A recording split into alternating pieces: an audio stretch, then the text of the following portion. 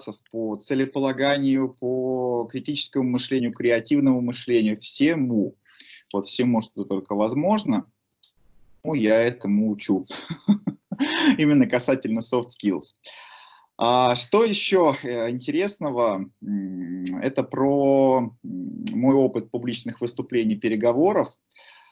Он у меня составляет порядка 10 лет. Сам я по образованию инженер, закончил Бауманку.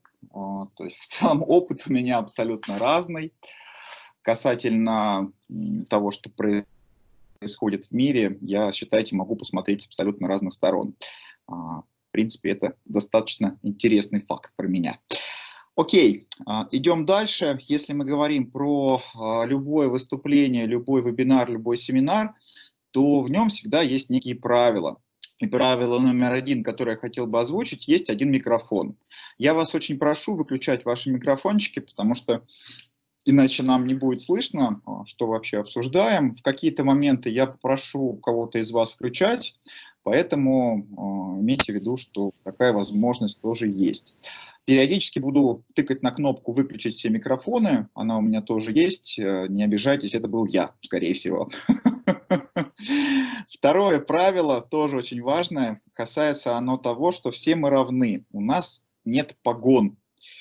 Все мы занимаем какие-то разные должности, разных возрастов, э, разные социальные позиции. Все-все-все у нас с вами разное.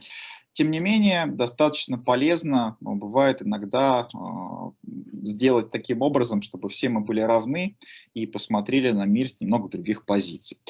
Ну и третье правило, которое мне очень хотелось бы, чтобы мы соблюдали, задавайте вопросы. Чатик у нас есть, можете туда писать.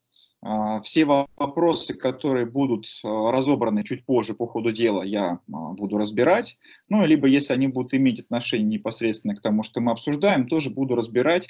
Без ответа не останетесь. Оксана спрашивает, почему спикера не видно. Если прям очень хотите, то есть могу включить за себя, будете смотреть на меня. То есть кому это нужно, поставьте плюсики, кому не нужно, поставьте минусики. Чат прям Вчера мы не писались именно в формате видео.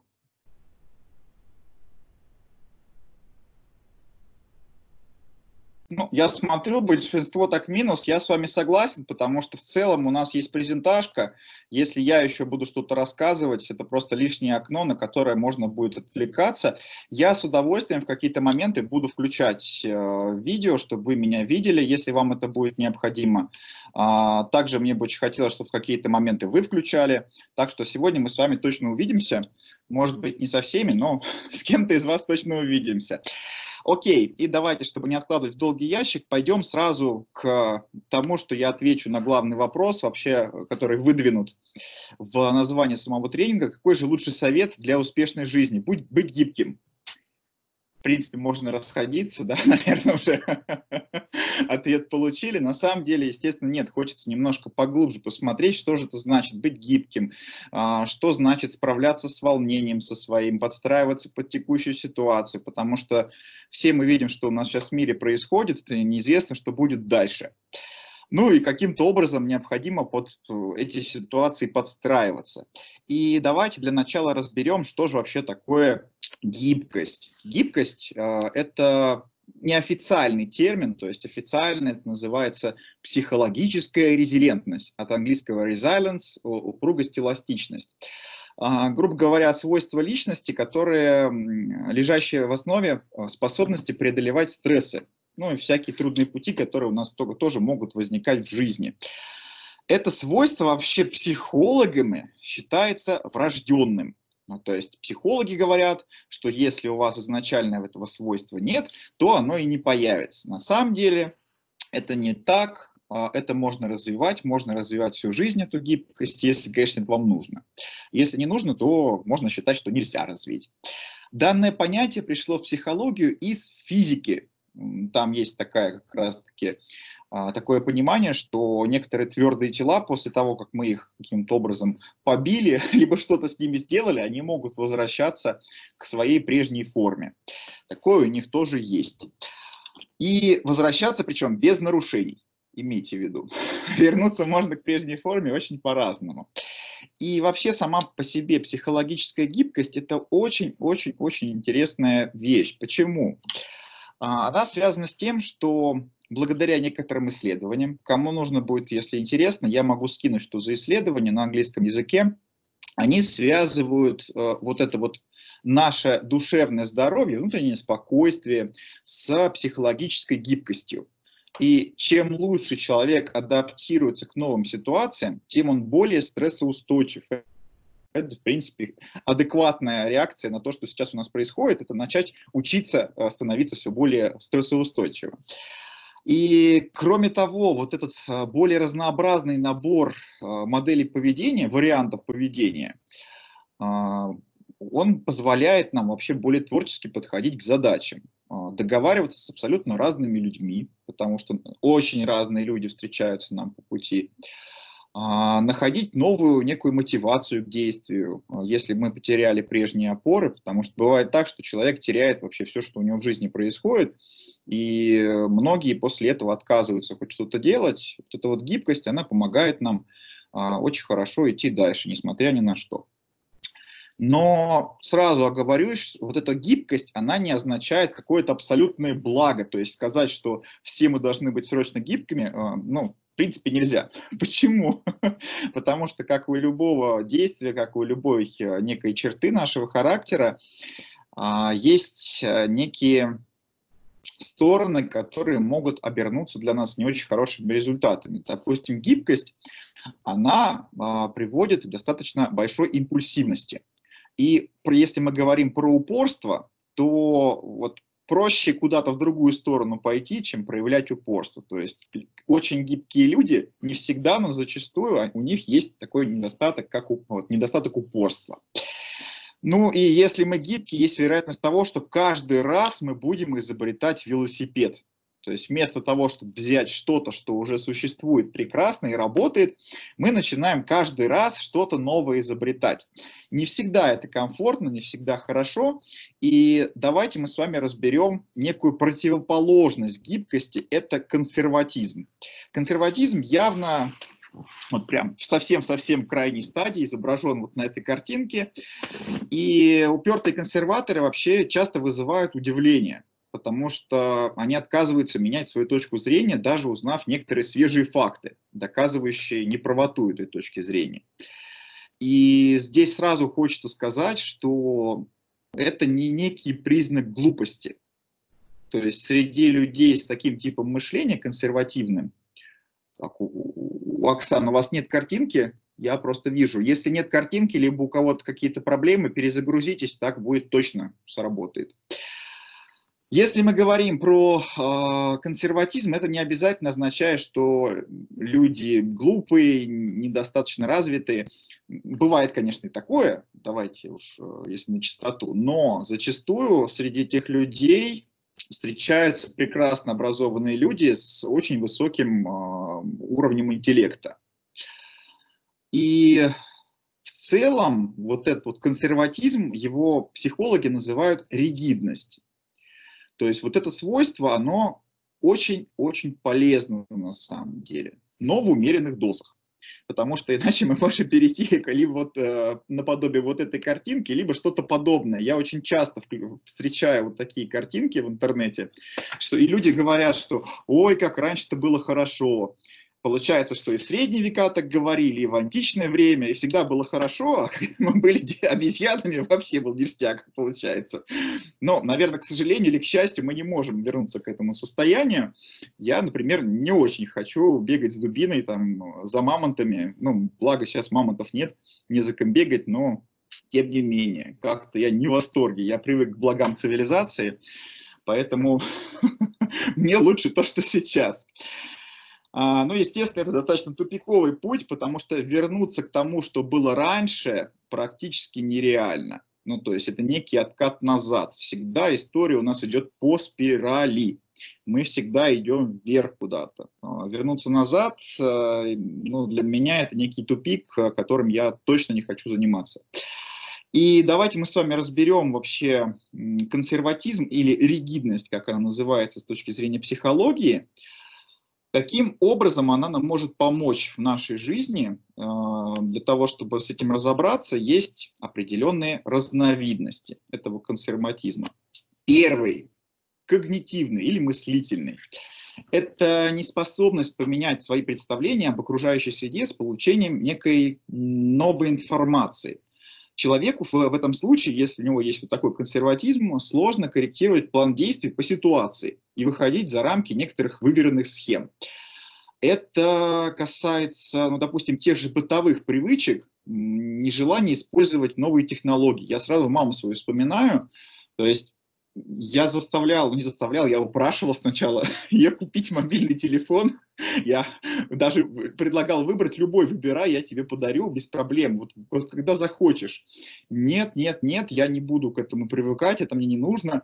А сейчас, а, когда я ей подарил этот телефон, она довольная ходит, счастливая, шлет мне периодически что-то из одноклассников, с подругами своими общается по видеозаписи, по видеосообщениям, довольно счастливая. То есть это некие наши привычки, технологии их могут решать, но тем не менее люди могут э, к ним не приходить. Если мы говорим про следующую, следующую разновидность, это аффективная, так называемая. Проявляется это в том, что что-то с нами произошло, и мы в этой ситуации зависаем. Например, нас а, толкнули в метро в час пик, ну, сейчас, наверное, это уже не актуально, поскольку карантин у нас, а, тем не менее, бывает такое. То есть толкнули в метро, и мы весь день ходим, думаем, что ж такое-то, вот он нас толкнул в метро, наступил на ногу, кошмар. И мы весь день это в голове прокручиваем. Поэтому получается, что мы висим в этой ситуации. Это и есть некое проявление консерватизма. Ну и еще один вариант, который может быть, еще одна разновидность, это мотивационная, мотивационный консерватизм. Что это значит? А, бывает так, что в тех же 90-х годах а, очень многие люди вынуждены были сменить свою работу и вообще сменить свой уклад жизни.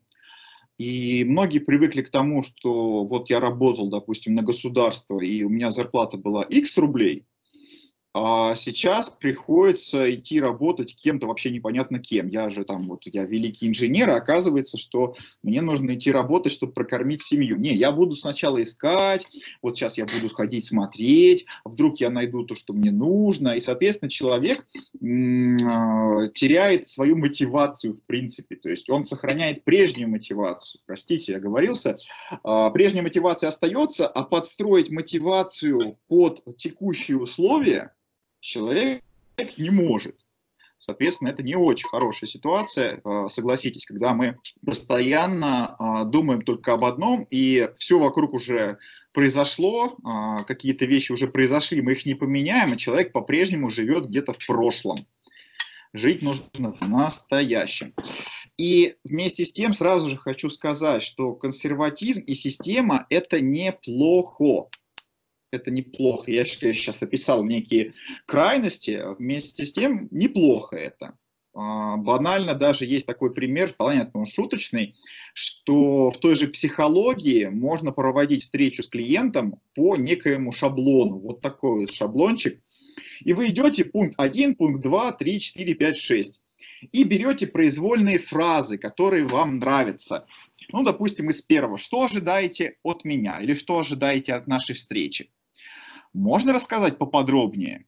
Хм, что вы чувствуете по этому поводу?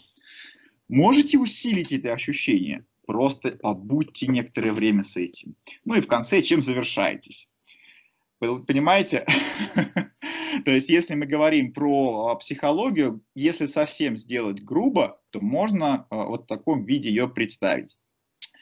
А, когда мы говорим, что человек мыслит некоторыми шаблонами, мы обычно подразумеваем под этим что-то плохое, но вот представьте, что если бы мы в любой ситуации продумывали решение заново, вот абсолютно в любой, абсолютно в любой ситуации, а, ну, допустим, а, я сейчас иду чай наливать. Это прекрасная ситуация, которую я делаю, в принципе, на автомате, налить э, водички, вскипятить ее, все нормально, понимаете? Если бы я каждый раз думал, что мне взять, где мне достать воды, это очень-очень-очень истощает наш мозг. А, в целом, если смотреть про энергозатраты, то наш мозг потребляет 20% всей энергии нашего тела. Вот все, что к нам поступает, 20% мозг потребляет. При этом в целом ну, он порядка 2% занимает по массе. Как-то так. Коллеги, да, а, смотрите, несколько запросов поступило а, по поводу того, что квакает в наушниках. Попробуйте переключиться, потому что, возможно, это связано с тем, что большое количество участников а, и как-то все пока не подключилось. У кого-то нормально и без наушников. Я прям говорю в микрофон, прямо в него. Если не против, я могу даже погромче говорить. Может быть, так будет лучше слышно. Сразу же возникает э, такой момент, э, что же делать с этим консерватизмом, хорошо это или плохо. Самый ключевой критерий, как понять вообще, что с этим консерватизмом делать. Так, оп, так, почему-то у меня слетело. Отлично, супер. Отлично. А, изображения действительно не было, потому что подключали. Сейчас все должно у вас быть. И смотрите, ключевой критерий, по которому мы вообще все признаки, которые у нас в жизни проходят, мы через него прогоняем. Это мешает ли он нам жить? Ну, то есть, если консерватизм у нас есть, но в какой-то степени, которая нам комфортна, и она нам не мешает жить сейчас, не мешала жить раньше и, и не будет мешать жить в будущем, зачем его трогать? В этом я вступаю иногда с некоторыми психологами в конфликт, потому что они начинают говорить, что нужно все поправить. Вот там кто-то у кого-то из детства что-то идет, и здесь плохо, и это плохо. Получается, что всю жизнь нужно ходить к психологу, чтобы все что-то править. Я не хочу править, я хочу периодически. Если меня что-то не устраивает, я прихожу, это меняю. Если все меня устраивает, ну, то значит все хорошо. Зачем мне что-то менять? Вот я смысла никакого в этом не вижу абсолютно. Поэтому э, ключевой момент. Если мешает жить, корректируйте. Не мешает жить, не корректируйте. Смысл-то? И тут сразу же вылезает прямая аналогия. То есть, если нам нужно что-то вскопать, мы используем лопату. Если нам нужно что-то причесать в плане земли, либо собрать, мы используем грабли. Желательно использовать консерватизм для одного, гибкость для другого. Это про инструменты полностью быть консервативным и полностью гибким – это очень страшные вещи, потому что не позволяют нам, в принципе, а, быть адекватными ситуацией. И тут же сразу э, всплывает момент, связанный с настойчивостью и упрямством, потому что это очень связанные вещи. И для того, чтобы что-то, чего-то достигать, есть как раз-таки вот такая замечательная картинка, что назовите ваши сильные стороны. Настойчивость. Спасибо, мы свяжемся с вами. Я здесь подожду. То есть настойчивость – это некоторые действия, которые направлены на достижение цели. Чем отличается настойчивость от упрямства? То есть настойчивость – это первая стадия, упрямство – это вторая, то есть она уже идет после настойчивости. Настойчивый человек всегда предпринимает действия с учетом некоторой обратной реакции. Если я вот действую как Э, указано на этой картинке, это уже упрямство, это не настойчивость. А упрямый человек как раз-таки примет действие без учета обратной реакции от того, куда это воздействие направляется. А, именно поэтому очень важно, в принципе, быть гибким, то есть уметь применять когда-то гибкость, когда-то уметь э, быть консервативным, когда-то найти некую золотую середину, тоже, тоже, тоже туда-сюда это можно делать. Потому что наша жизнь, она сейчас настолько быстро меняется. Вот просто нереально быстро. А, кто мог подумать еще год назад, что придет какой-то вирус из Китая? Но если смотреть статистику, оттуда много что пришло в плане вирусов. Но кто мог подумать? Все были рады, рады, счастливы, счастливы. И э, то, что сейчас происходит, это, конечно, достаточно большой стресс. Поэтому э, делать выбор между консерватизмом и гибкостью смысла никакого нет. Вы подбираете то, как вам комфортно жить. Вот в текущих обстоятельствах подбираете, смотрите, И вообще есть особые способы. Про гибкость мы будем говорить чуть поподробнее. Про консерватизм буквально в двух словах расскажу, что с ним можно делать. То есть если вы замечаете, что у вас есть какая-то повышенная склонность к некоему консерватизму, то а, что с этим можно делать, это про некие групповые действия, то есть а, больше общаться с людьми, причем с абсолютно разными, посещать тренинги, какие-то занятия по развитию творческих способностей, познавательных способностей.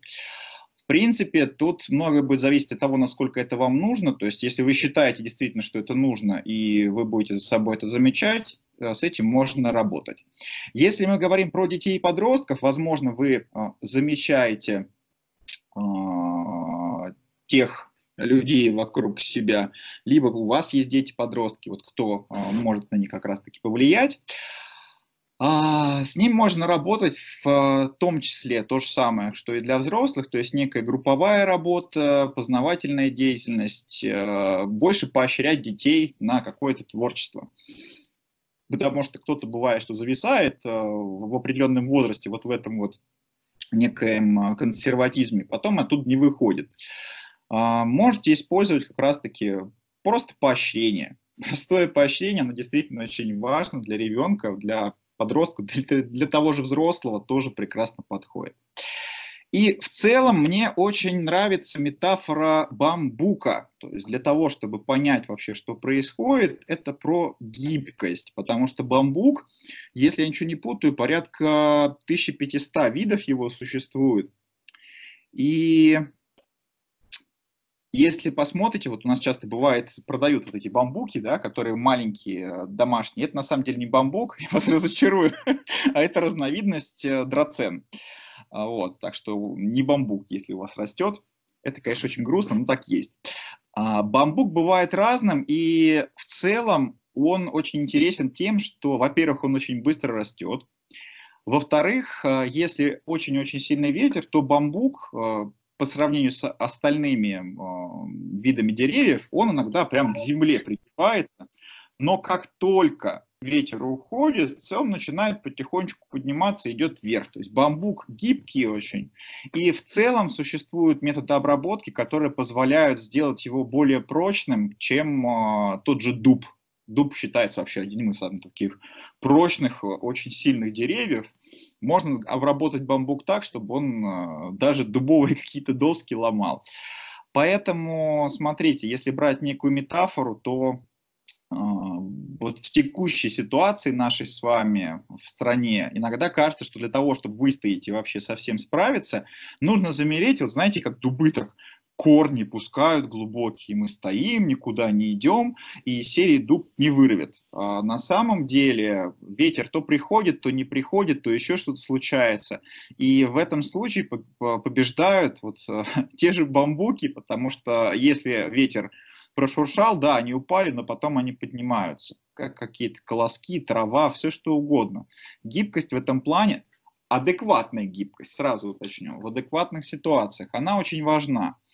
И э, можете брать для себя на вооружение такую метафору бамбук. А, смотрите, сейчас мы перейдем а, к более подробному разбору, как работать с э, своими внутренними волнениями, тревогами, страхами. И сразу же вам скажу, что э, часть тренинга, она будет в чем-то повторяться, пересекаться со вчерашним, потому что методики очень похожи. Коллеги, кто был вчера, я думаю, повторение мать учения, повторите, посмотрите, вспомните заодно, а, что мы вчера проходили. Итак, начнем мы с того, что разберем а, так называемое состояние зоны комфорта. Очень часто про это говорят, что нужно выходить из зоны комфорта. А куда выходить? Никто не уточняет. ну, то есть у нас есть вот такая вот прекрасная зона комфорта, в которой мы находимся. И для того, чтобы из нее выйти, мы должны выйти в зону обучения. Вот мы туда вышли, поучились там, все прекрасно. А бывает так, что мы выходим даже за зону обучения. То есть настолько сильный стресс у нас, настолько большая нагрузка, либо на что, настолько что-то непривычное для нас, что мы выходим в прекрасную зону стресса. Причем стресс может быть очень-очень сильным, стресс, тревога, все это на нас может навалиться. Место, и что-то с этим нужно делать. Поэтому будьте аккуратны. Мы сейчас будем разбирать, как э, вообще в эти зоны выходить, что с ними делать. И еще раз повторюсь, в нашей ситуации получается, что вот эта зона стресса, она нас фактически поддавливает со всех сторон. Вот просто со всех сторон, э, потому что что будет завтра, простите вот за слово «что», но оно очень хорошо здесь вписывается. Вот что будет завтра, непонятно в принципе. А, те из вас, кто из Москвы, я, допустим, каждый час где-то заглядываю в телефон, чтобы понять, уже ввели комендантский час, карантин или не ввели. Мне же интересно. Я думаю, как передвигаться по городу. Пока что непонятно. Пока жду, что там будет. Соответственно, стресс сейчас достаточно большой у всех, поскольку большая неопределенность. И целом вот из этой зоны комфорта выходить все равно стоит. Почему? Потому что это, знаете, как вот, те, кто занимается спортом, либо те, кто хотя бы слышал про то, как формируются мышцы, именно большие объемы мышц у тех же бодибилдеров, они берут э, большие веса, но при этом качают, качают, качают, в результате происходят некие микротравмы. Ну, то есть мышцы немножко там рвутся, мы это не замечаем, не видим разорванных полностью, но маленькие-маленькие травмочки, и, соответственно, как только идет некий период отдыха, за это время мышцы успевают восстановиться и нарастают, то есть, получается, они восстанавливаются, и за счет этого увеличивается вот их масса. А, соответственно, наша с вами задача, если у нас вот эта зона обучения, она очень маленькая, потихонечку выходить в зону стресса из нее. Мы потихонечку вышли, у нас мышцы наши внутренние чуть-чуть, чуть-чуть порвались, мы вернулись обратно в зону комфорта, зону обучения, у нас все наросло как нужно. Дальше мы уже выйдем еще чуть-чуть, чуть-чуть, чуть-чуть, и будет эта зона обучения у нас расти, а зона стресса будет падать. Для того, чтобы было больше понятно, есть вот такой прекрасный график, еще раз его повторю. Зона обучения у нас э, характеризуется неким пиком производительности, но вместе с тем растет и тревога. Наша тревожность в какой-то момент она становится вообще гигантской и образуется зона стресса, зона паники, как хотите называйте. И наша производительность она падает в ноль, потому что делать не хочется вообще ничего. И ощущение, что вот я сейчас куда-нибудь отсюда быстренько хочу уйти. Пожалуйста, уйдите меня отсюда. Соответственно, с этим тоже можно работать. И прежде чем с этим разбираться, хотел бы вас спросить. Вот тревога и страх, как вы думаете, в чем разница? Можете прямо в чатик написать.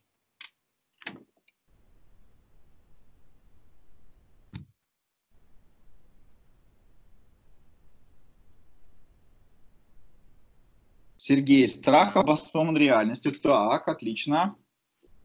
Тревога вымысел. Отлично, Сергей, спасибо. Еще есть какие-то варианты у вас? Тревога может быть необоснованной, тревога мысли, тревога регулярный, страх реактивный. Отлично. Марина, страх, когда знаешь, чего боишься. Так, отлично, отлично. Тревога сигнал, страх рационален, тревога нерациональна тревога без причины, именно... Да, слушайте, вы все выделили очень хорошие конкретные моменты того, действительно, чем отличается тревога и страх.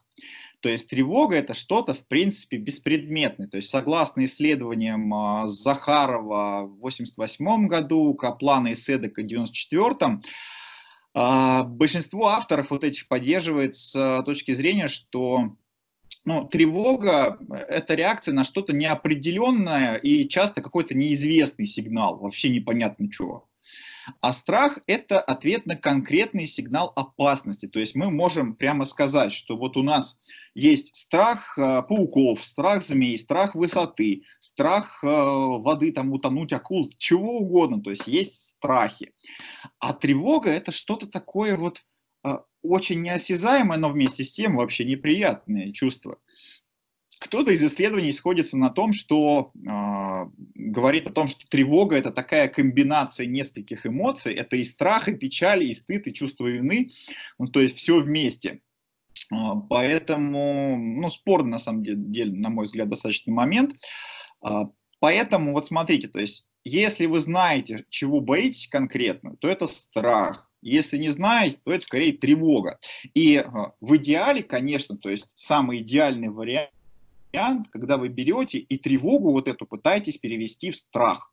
Ну, то есть понять конкретно, чего вы боитесь, потому что если поняли, чего боимся, можно уже с этим работать. Если не поняли, ну, а как мы с этим будем работать? Ну, просто тревожно, да. Подышали, там, походили. Ну, вроде полегче стало. А что дальше делать? Она же опять приходит. Для начала, смотрите, мне бы очень хотелось, чтобы вы э, посмотрели следующий слайд. Он про некий чек-лист, то есть для того, чтобы понимать, существует у вас это состояние или нет. Конечно, в интернете вы найдете кучу различных тестов, тем не менее, есть вот такой небольшой чек-лист, который поможет вам понять про тревогу. А, во-первых, самое первое, одно из самых важных, если вы чувствуете, что ваше беспокойство чрезмерно, то, ну, скорее всего, вы можете э, быть как раз-таки под воздействием тревоги. Чрезмерно это означает, что я сижу, и я, господи, господи, что же произойдет? Что ж, ну, то есть некое несоответствие ситуации. Второе, вам физически плохо. Что это значит? Это значит, что есть какие-то зажимы в мышцах, там дальше про это тоже будет, ну просто физически плохо, как будто тошнота какая-то может быть от тревоги, ощущение нехватки воздуха, а, ощущение того, что голова кружится. Это вот тоже симптомы. Быстрая усталость. Если быстро устаете, тоже один из вариантов, э, что это может быть тревога. Не удается усидеть на месте. Ну, тоже один из вариантов. Сложно сконцентрироваться туда же. Раздражительный.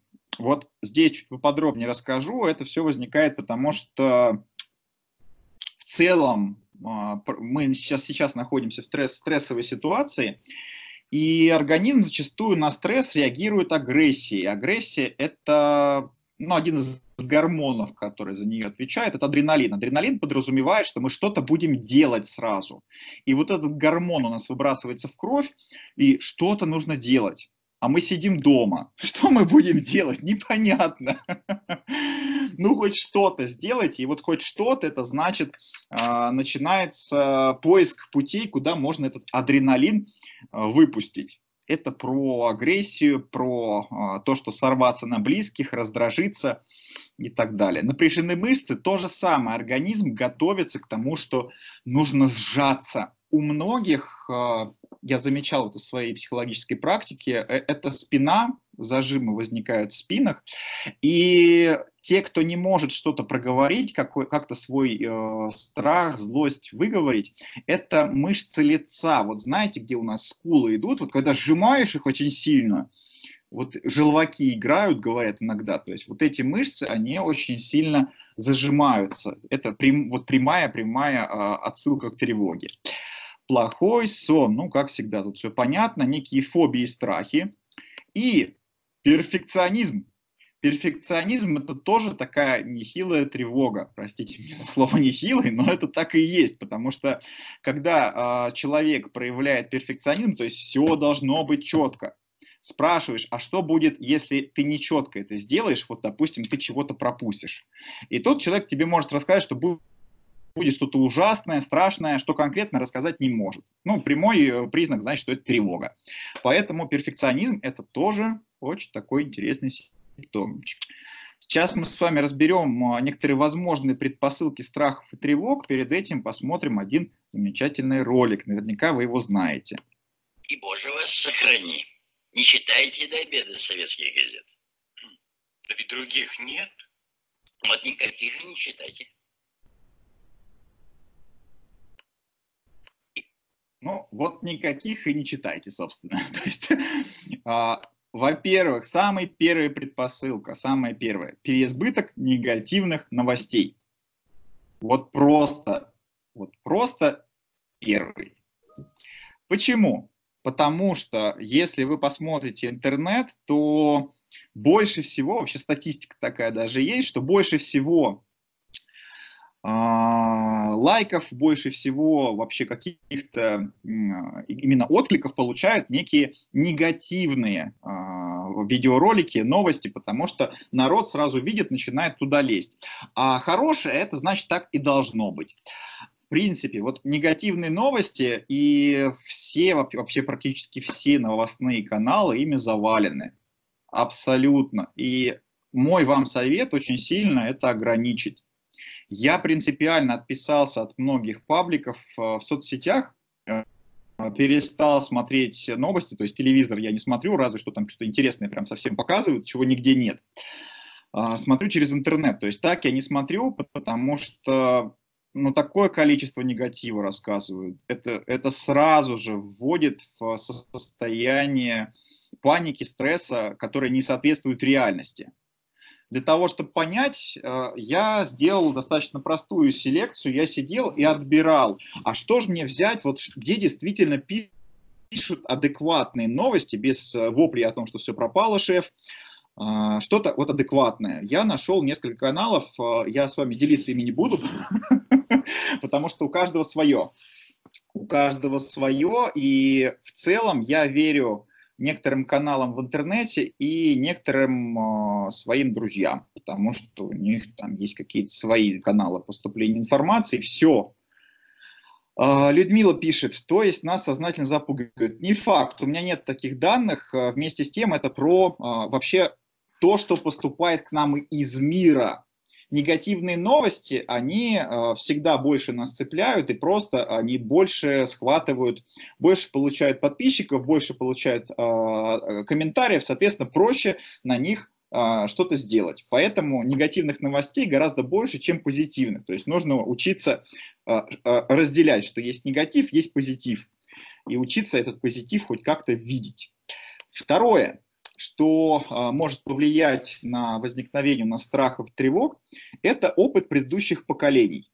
Опыт предыдущих поколений, э, давайте я опять на своем примере расскажу. То есть э, вот бабушка у меня, она прошла войну, и она всегда мне говорила, что хлеб нельзя выбрасывать, потому что вот войну хлеба не хватало, а сейчас э, вы, мол, не цените ничего, и хлеб, вот почему ты выбрасываешь хлеб, даже если он зачерствел, даже если плесень какая-то появилась, там можно почистить его, а, сделать из него сухари, а, ну вот некий опыт таких, и она все время это транслировала.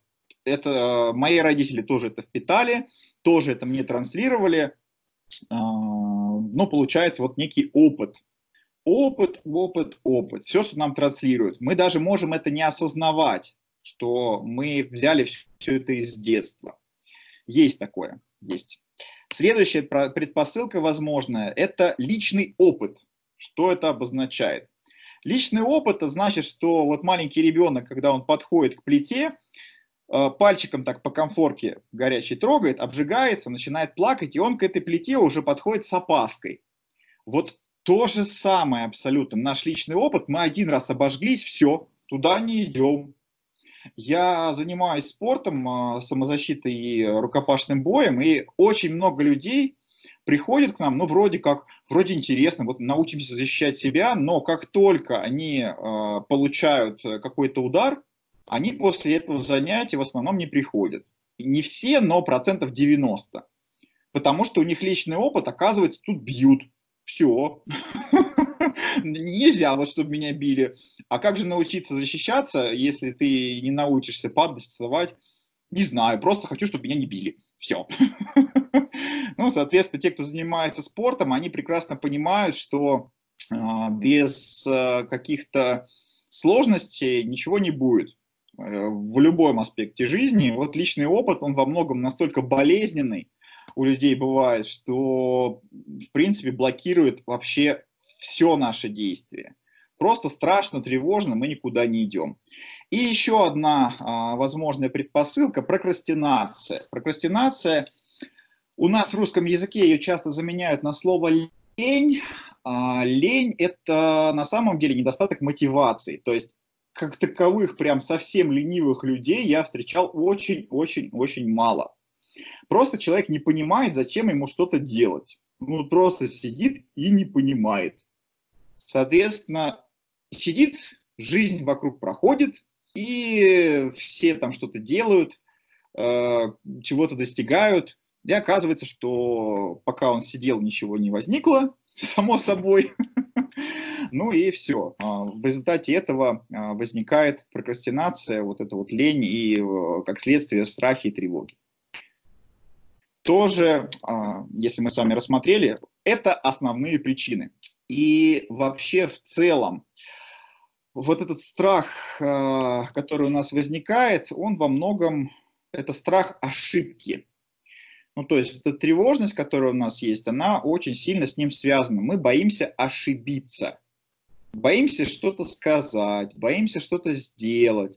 И в результате мы отказываемся вообще хоть что-то делать. И говорим, что это невозможно. Ну вот невозможно и все. Ну вот не, ну невозможно. Просто невозможно. Боимся. Следующее, мы э, иногда отказываемся продолжать работу при обнаружении ошибки. Ну и серии, вот все уже, все, все, ничего не сделать. Ошибка есть, ничего не исправить. Ну и э, некоторая блокировка при субъективном, я подчеркиваю, в субъективном ощущении трудности. То есть если я считаю, что это очень трудно, мне как-то тяжело с этим справляться, но, наверное, наверное, не буду делать. Просто не буду. А то, что вы взялись, ну, ну, не, ну, не буду, вот просто не буду. И первое, что нужно с этим сделать, признаться себе, что у вас есть некоторый страх, либо тревога. Потому что ни с чем нельзя работать, пока вы не признаете, что у вас это есть. Признайте, что вот такие эмоции бывают. На самом деле э, у нас так общество устроено, вот по крайней мере в России, что очень страшно, очень как-то непонятно признаваться в своих чувствах. Да, давайте 24 покажу быстренько. А, Дарья, да, смотрите, э, если мы говорим про, про нашу страну, то в целом а, ну, существуют определенные стереотипы, то есть женщинам в принципе, можно свои эмоции проявлять, вот исходя из этих стереотипов, потому что считается, что женщины более эмоциональны, нужно проявлять свои эмоции, и с этим все ок. А стереотип мужчины в нашем обществе – это какой-то каменный исполин, за которым можно э, спрятаться, на которого можно опереться, и если он говорит, что ему страшно, ну, это очень странно.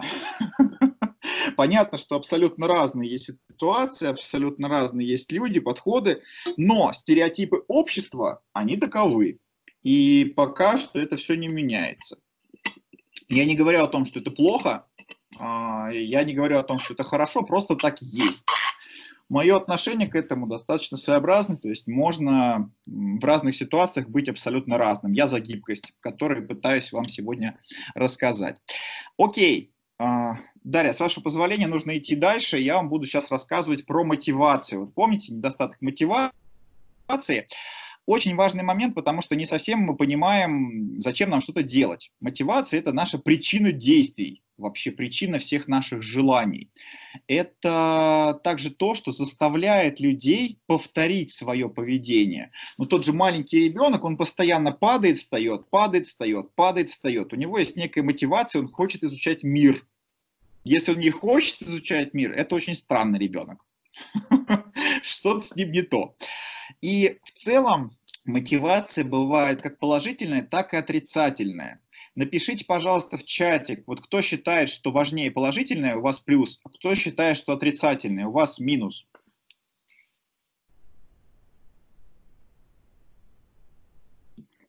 Плюс-минус, в основном плюсики. Важна и та, и та мотивация, Александра пишет, спасибо вам.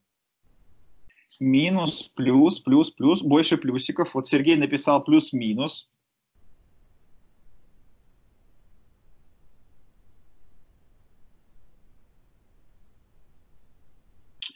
Отлично, отлично. А, на самом деле скажу, что вы а, все правы, то есть важна и такая, и такая мотивация. Абсолютно важна и такая, и такая. Почему? Потому что часто бывает так, что, ну, допустим, у меня из детства, я, вот у меня отрицательная мотивация с самого детства.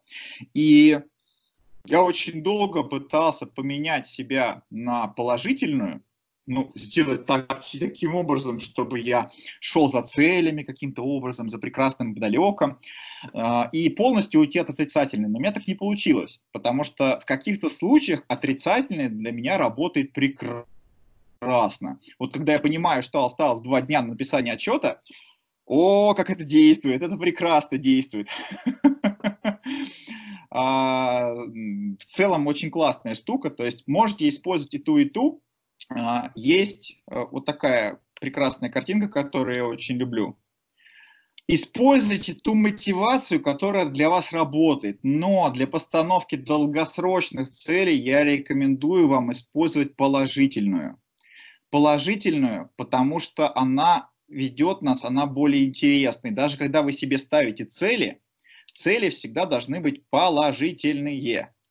Потому что если мы говорим, я не хочу испытывать стресс, допустим, то вместо стресса можно испытывать страх, гнев, ненависть, депрессию. Пожалуйста, выбирайте, что хотите. Нужно всегда уточнять, что мы хотим вместо.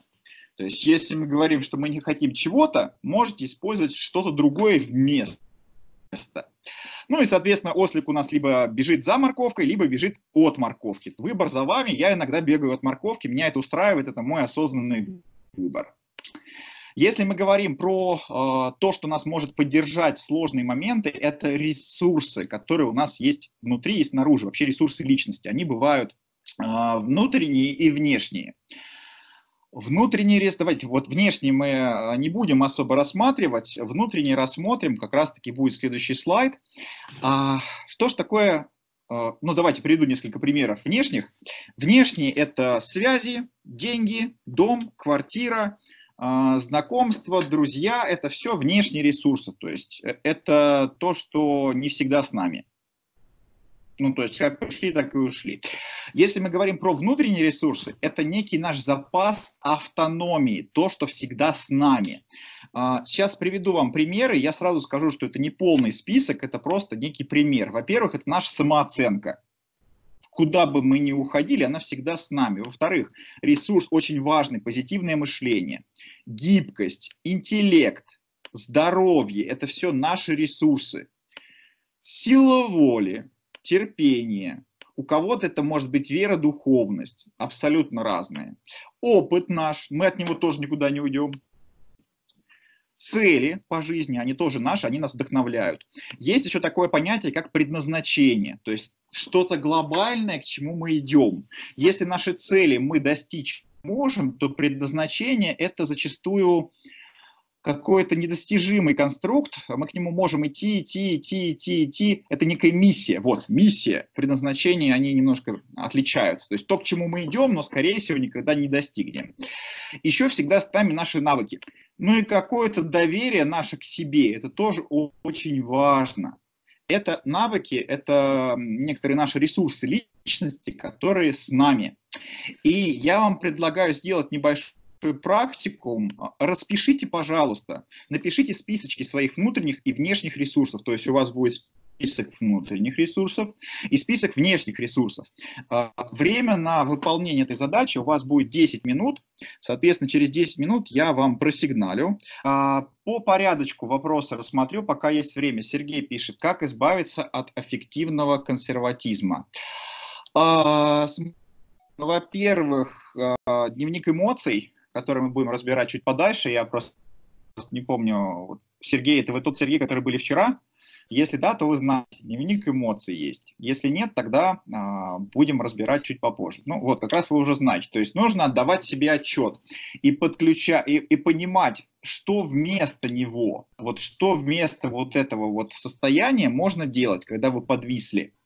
Что можно сделать вместе? Учить переключаться это ключевой навык, то есть учить переключаться, заняться чем-то другим специально. Не ждать, пока придет настроение, а специально этим заниматься.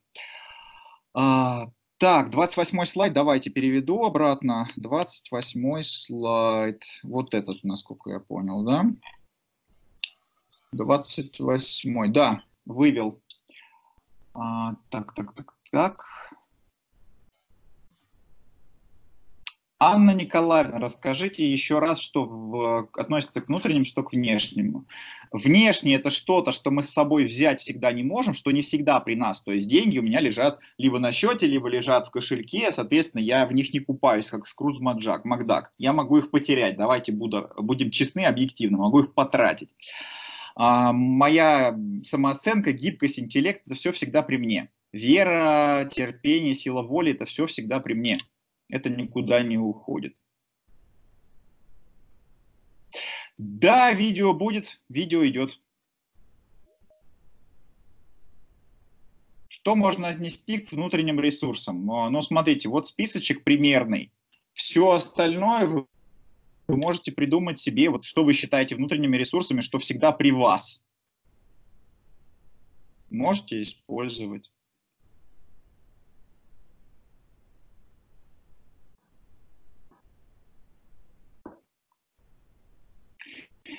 Коллеги, давайте я еще раз проговорю. Э, возможно, есть какие-то технические сложности. Запись ведется, запись вам будет предоставлена. В любом случае, если у вас были какие-то вопросы, которые вы не смогли разобрать за время нашего с вами э, вебинара, сможете мне написать на почту, она у меня есть в личном кабинете на сайте с удовольствием вам всем помогу, с вами поговорю. То есть ни, никто из вас, э, скажем так, не уйдет без ответа. В любом случае будет э, важно полезно. То есть если даже сейчас не получится, ничего страшного,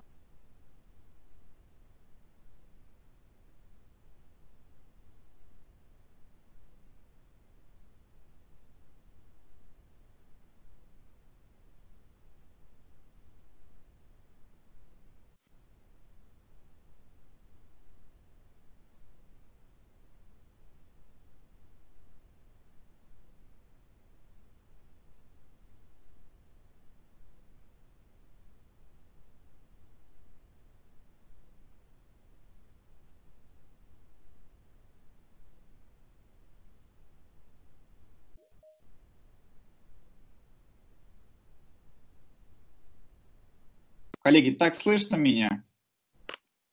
По идее, да. Отлично. Спасибо вам большое, что дали сигнал. Отлично. Слышно. Э, отлично. Спасибо вам большое. А, смотрите, запись будет, вам все пришлют, это все есть, я все прислал коллегам. А, предназначение – это то, что не ищется за 2 секунды, то есть это про некую нашу практику, то есть мы всегда идем, делаем, пробуем, смотрим, что нам нравится, что не нравится. Иногда предназначение – это даже что-то, что не нравится, но просто мы, это вот как э, кто-то из, из вас написал – слово «надо». Вот просто надо делать. Вот, допустим, с тем же обучением, я, когда Бауманку закончил, я даже не думал, что я буду работать бизнес-тренером. В принципе, психологом, коучем. Очень странно, потому что я с людьми не мог общаться в принципе. Вот в принципе никак. Я не мог ни поговорить, ни что-то сказать. А выступить перед аудиторией, там, перед одним-двумя человеками, это было просто адской мукой.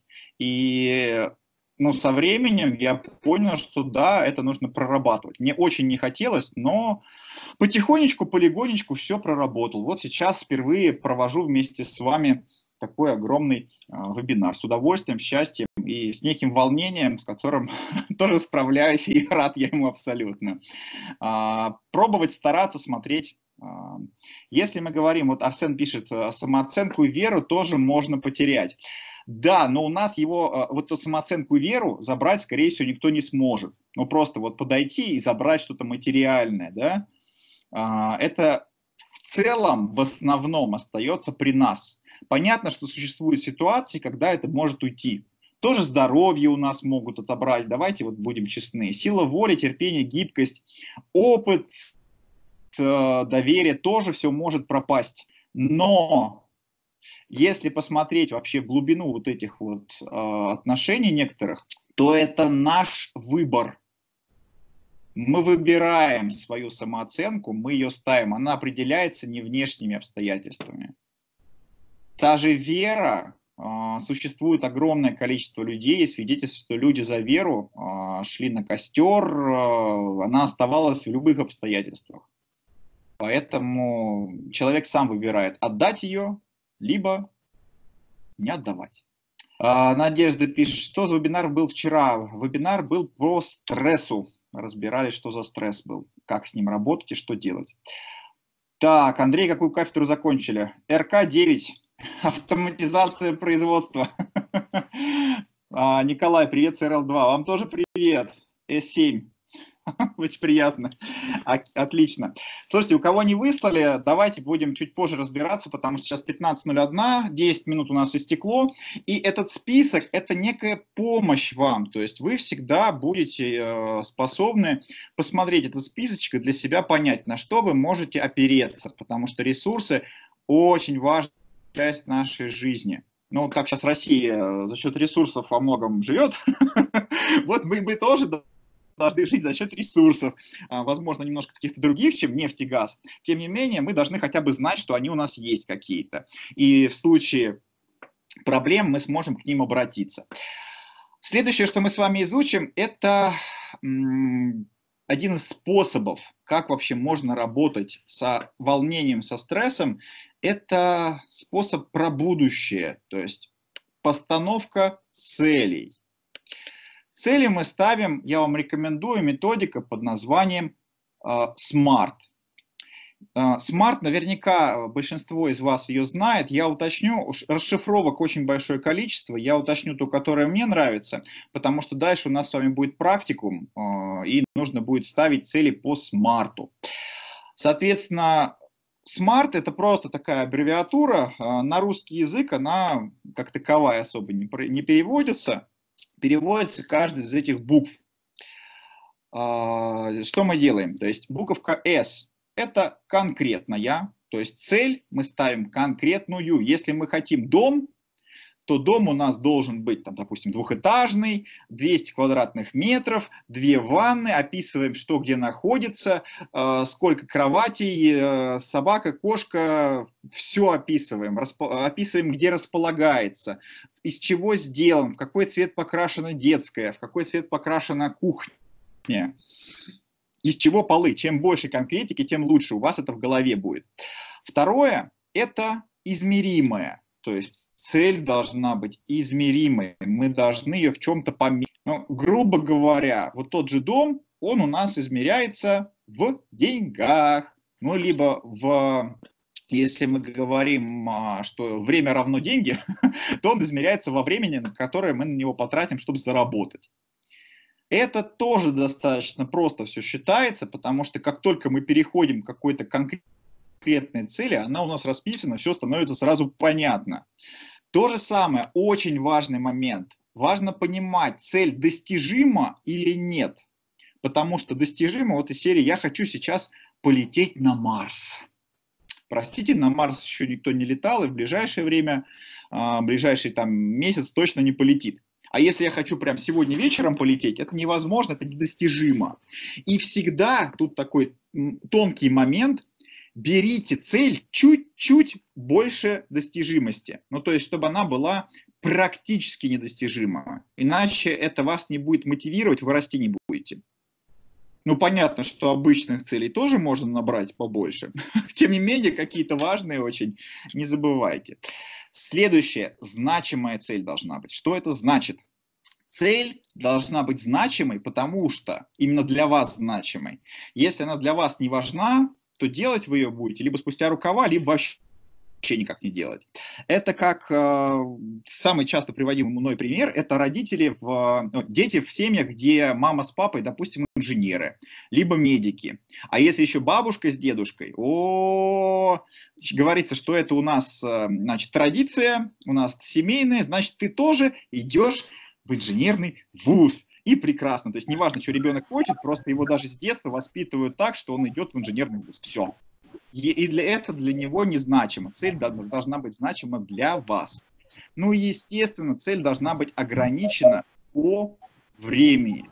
Потому что если я хочу дом, я все расписал, все замечательно, все прекрасно, но если я его получу в 90 лет, я, конечно, не такую радость большую испытаю, как если я его получу через лет 5-10. Все должно быть ограничено по времени. Так, давайте, чтобы не потерялись вопросики. А, Андрей, скажите, пожалуйста, запись семинара по стрессу можно будет посмотреть, если я на него не, регистрировался? Да, Дарья, думаю, что можно. Напишите а, по адресу info собачка специалист, скажите, попросите, вас там, я думаю, зарегистрируют, скинут вам в любом случае. Если нет, а, свяжитесь со мной по почте, я вам как-нибудь ее перенаправлю, либо вашу просьбу перенаправлю. Вера написала очень хорошие э, ресурсы. Спасибо вам большое, Вер. Юлия пишет комментарий. «А цель достижима или нет, это проблема определить, так как мы можем, не веря в себя, отказаться от цели, а на самом деле мы очень даже могли ее достичь. И наоборот, мы думаем, что можем, а получишь фиаско. Да, это действительно так, это про самооценку.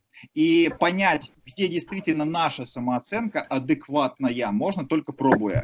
И вот эти вот разочарования некие, то, что мы получили фиаско, то, что мы смогли, не смогли, отказались, всегда это наш выбор и это некие последствия для нас. Даже если мы не делаем выбор, это все равно выбор. Вот я сейчас сижу дома, и я выбираю сидеть дома. Выбираю не идти на улицу. Многие думают, что если я ничего не делаю, значит, я выбора не совершаю. На самом деле нет. То есть всегда выборы, мы всегда учимся. Вопрос в том, какие выводы мы делаем из того, что происходит. А, модель Smart, как я уже говорил, имеет множество расшифровок. Берите ту, которая вам нравится. А, это все будет в вебинарчике, а, в записи посмотрите. Вот. Я, допустим, говорю, что вот, допустим, буква S должна быть конкретной. Кто-то говорит, что это significant, э, значимо, stretching сложная, simple простая, как хотите. Вот что хотите, используйте. Больше всего, конечно, расшифровок на букву T, time-bound есть, uh, time-oriented, uh, time-based, timely современная, uh, timetable, графиком выполнения и так далее. Выбирайте, что вам нравится. Вот, вот что, что захотите, то и. И сейчас я вам дам очень хороший инструмент, который помогает работать э, со своими целями и в целом, если вы его освоите, очень хорошо их достигать.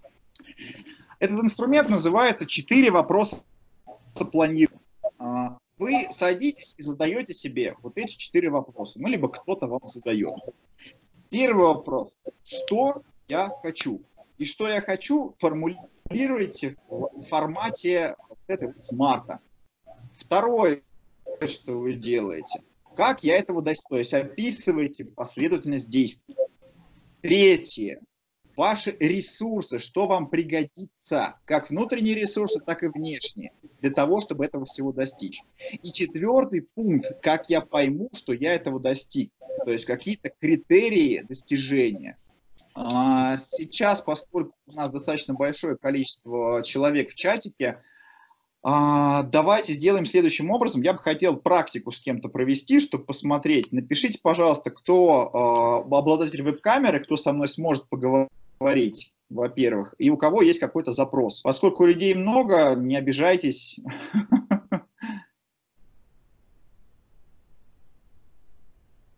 Ну, если будет много людей, не обижайтесь, я выберу просто тогда. У нас будет еще одна практика.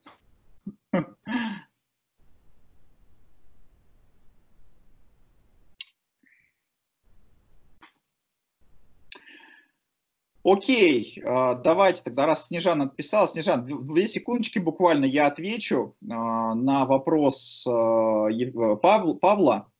Что делать, когда долго не можешь понять, что хочу? Понятно то, чего не, не хочу. Слушайте, вы начинаете делать хоть что-то. То есть это, знаете, как сразу появляется. То есть я не хочу делать вот это. Делаю вот это. Ага, этого я тоже не хочу. Окей стало больше понятно, чего вы не хотите. Сделали еще что-то, стало больше понятно еще, чего вы не хотите. Таким образом, у вас вот это вот пространство того, что вы не хотите, оно растет, а пространство того, что вы хотите, уменьшается. И вам становится более понятно.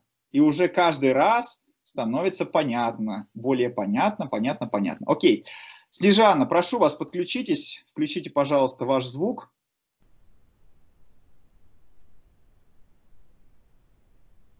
Хочу вас услышать. Здравствуйте. Здравствуйте, здравствуйте, с нами вы. Отлично, давайте тогда мы ради примера а, разберем с вами а, какой-нибудь ваш запрос. Скажите, пожалуйста, вот начиная с а, первого вопроса планирования, что вы хотите? Я хочу вообще поставить, построить для себя эту модель по смарт. Я работаю руководителем, и э, как бы уже очень много лет, 10 лет на руководящих должностях в сфере строительства.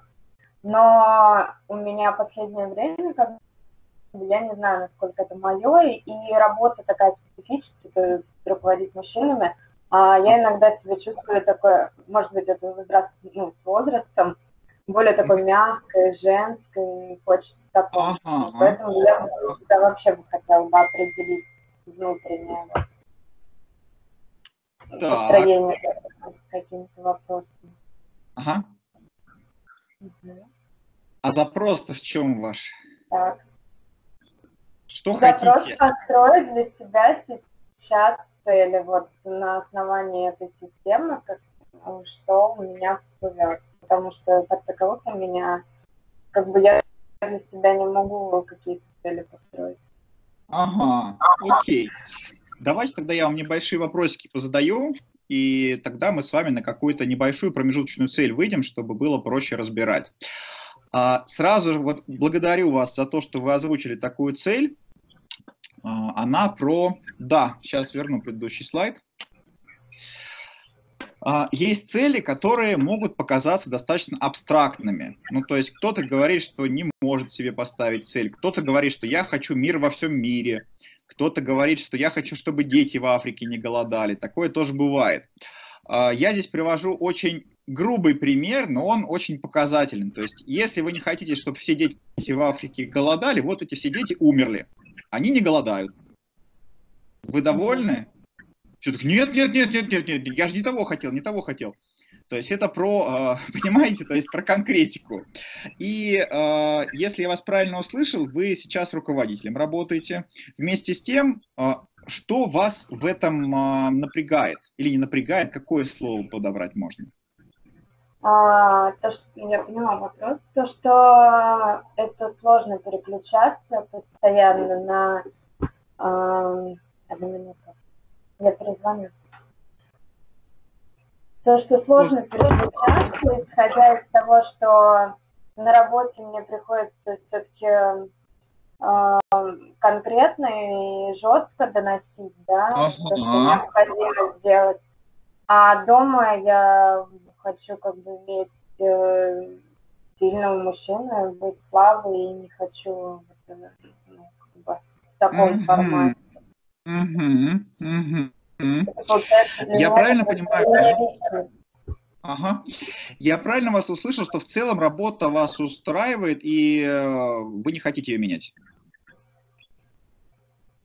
Ну, вообще, в целом, наверное, да, но как бы э, семья для меня важнее.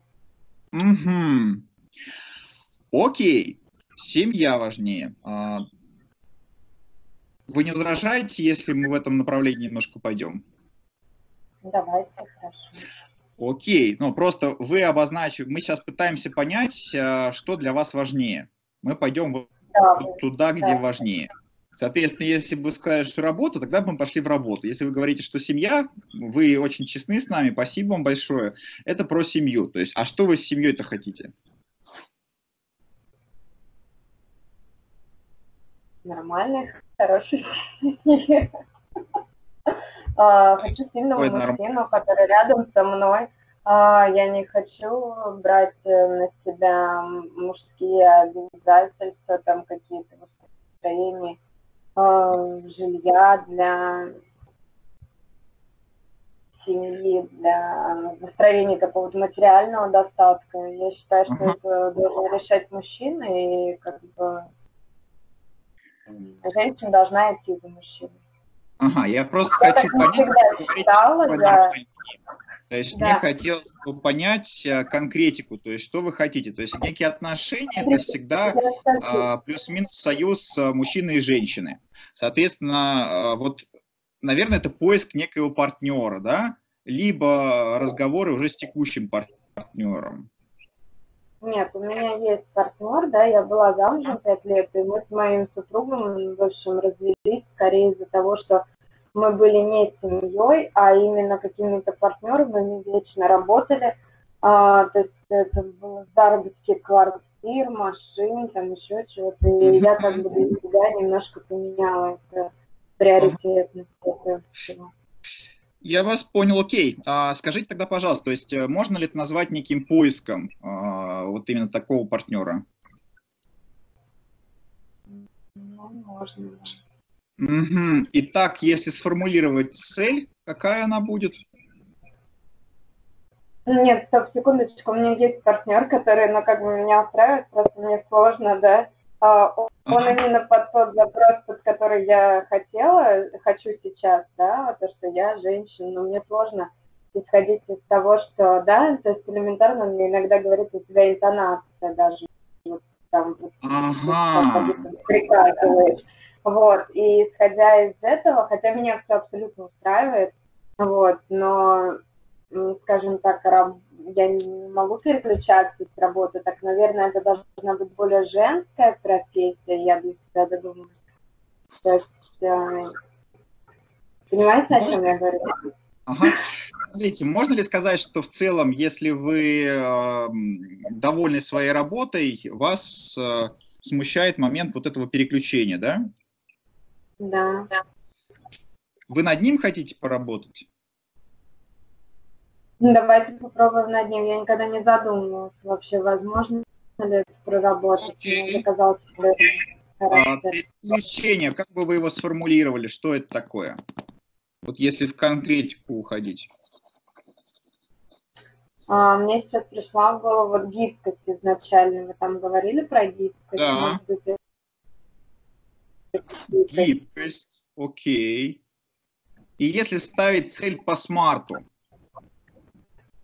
то что вы А, хотите с с- гибкостью? Тогда, наверное. Так. А в смарте там много всего. Конкретное, измеримое, значимое, ограниченное по времени. А, я хочу, быть гибкой во всем, наверное, да. Я очень консервативна во своих взглядах. Наверное, да. Окей. Мгм. По времени. А, здесь и сейчас уже хочу. Сейчас, ну, сейчас боюсь, что прям вот сразу недостижимо, боюсь, что вас расстрою, тем не менее, какой-то период должен пройти, чтобы вы привыкли, потому что если вы всю жизнь живете в одной и той же парадигме, перейти к другой потребуется время. Хорошо, давайте Вы думаете, какой месяц. адекватный срок? Месяц. Месяц, то есть 3 мая 2020 года, я прав? Мгм. Окей, 3 мая 2020 года вы хотите стать более гибкой. Есть какие-то критерии вот этой гибкости? То есть что вы делаете конкретно? То есть вот представьте, что вы уже гибкая, да? Что вы делаете? М. Так, ну я делаю все, что говорит. В плане дома я как бы э, стараюсь э, не спорить. А, Как-то свою точку зрения более мягко говорить, слуш, прислушиваться Так. и где-то даже м, Ага. во многом. Мгм. А, Две секундочки буквально. Коллеги, а, я прошу прощения, то есть мы сейчас достаточно личные вещи разбираем, а, поэтому я прошу вас, может быть, это очень грубо прозвучит, комментарии, это давайте вот вы при себе их оставите, потому что каждый человек, он разный. И мы не вправе судить, как-то рядить. э, То, что человек хочет, он делает. Все. Да, я еще на Соответственно, секундочку скажу, для вас- тех, кто здесь сидит, мне 27 лет, я сама себе купила квартиру, Не я надо, не надо ничего говорить. у меня все прекрасно есть, и при этом, при всем я прислушаюсь своего мужчины, я считаю, что это вполне нормально. Жанна, Ну, я вернитесь ко мне. Жанна, вы меня слышите? Да, да. Окей, да, да. вернулись. То есть у нас сейчас не какое-то публичное выступление. Давайте мы комментарии Ага. вот, вот, вот там оставим. Мы с вами сейчас разбираемся. А, Мы сейчас рассматриваем сам метод.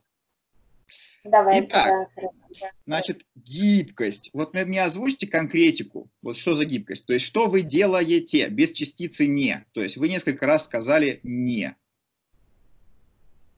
Так, что я делаю?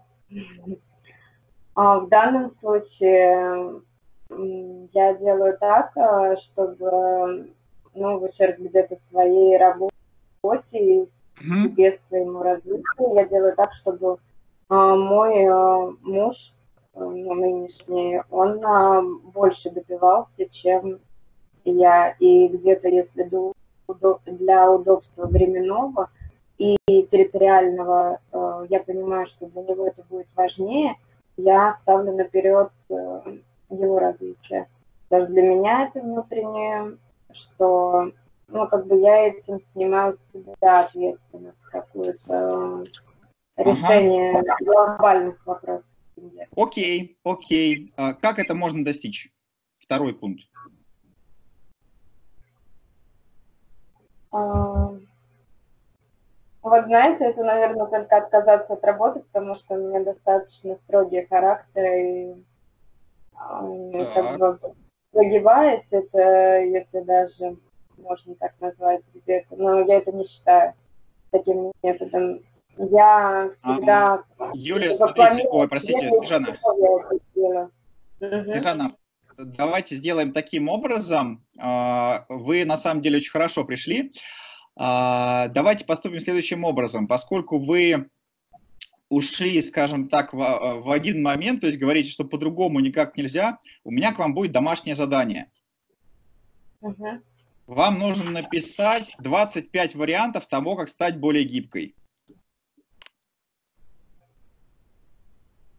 Угу. 25 минимум. Угу. Мою почту найдете на сайте специалиста, присылайте, это вам домашнее задание до, давайте на неделю.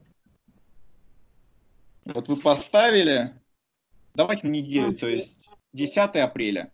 Жду от вас письма. 25 штук. Окей? Да, да. Спасибо вам большое. А, тогда давайте возвращаться к тренингу. Спасибо, что вы участвовали. Очень важно было. Спасибо.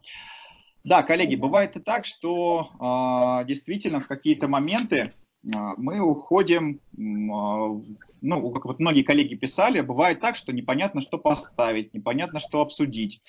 Да, Снежан, будьте добры, пожалуйста, камеру выключите, чтобы мы вот видели немножко другое. Да. Сейчас перешли именно к вопросам планирования. Мне бы очень хотелось сейчас, чтобы вот вы все остальные э, разобрали на своем примере, то есть чтобы у вас была некая практика. Э, попробуйте для себя описать по вот этим четырем вопросам планирования какой-то свой запрос Естественно, вы сможете меня спрашивать в чатике, э, будем разбираться. А, пишите, что хотите. Можете начать с какой-нибудь небольшой, маленькой задачи. Как этого достигнете? Какие ресурсы вам для этого понадобятся? И очень важно, как поймете, что достигли этого. Попробуйте, посмотрите. Э, это некая проба, чтобы вы попробовали. И очень важный момент, вот благодаря снижанию выплыл один, скажем так, момент, когда мы просто даже не знаем, что написать. Такое тоже бывает. И гибкость подразумевает, что вы садитесь и пишите, пишите, пишите, пишите. Поначалу очень сложно придумать хотя бы один вариант, как с этим справиться. Постоянно спрашиваете себя, как еще, как еще, как еще. Ну, то есть в целом, когда я учился коучингу, там задавали не 25, а 75 вариантов. Поэтому сидите и можете написать 75. Где-то после 50-го приходит уже вдохновение, прекрасные варианты, о которых даже никогда не думал. А, давайте мы с вами стартанем. 10 минут, я думаю, что достаточно для этого. 15.35 э, мы снова продолжим. А, кто-то из вас пишет, как просидеть 30 дней на карантине. Просидеть, а, ну, поскольку мы по смарту формулируем, просидеть на пятой точке конкретно. Вот мы сидим, я вот сейчас сижу, иногда буду вставать и ложиться на постель, чтобы поспать, иногда буду переходить на стул, чтобы покушать. Что-то более конкретное нужно. Что значит просидеть 30 дней на карантине? Это очень немножко такой размытый вопрос.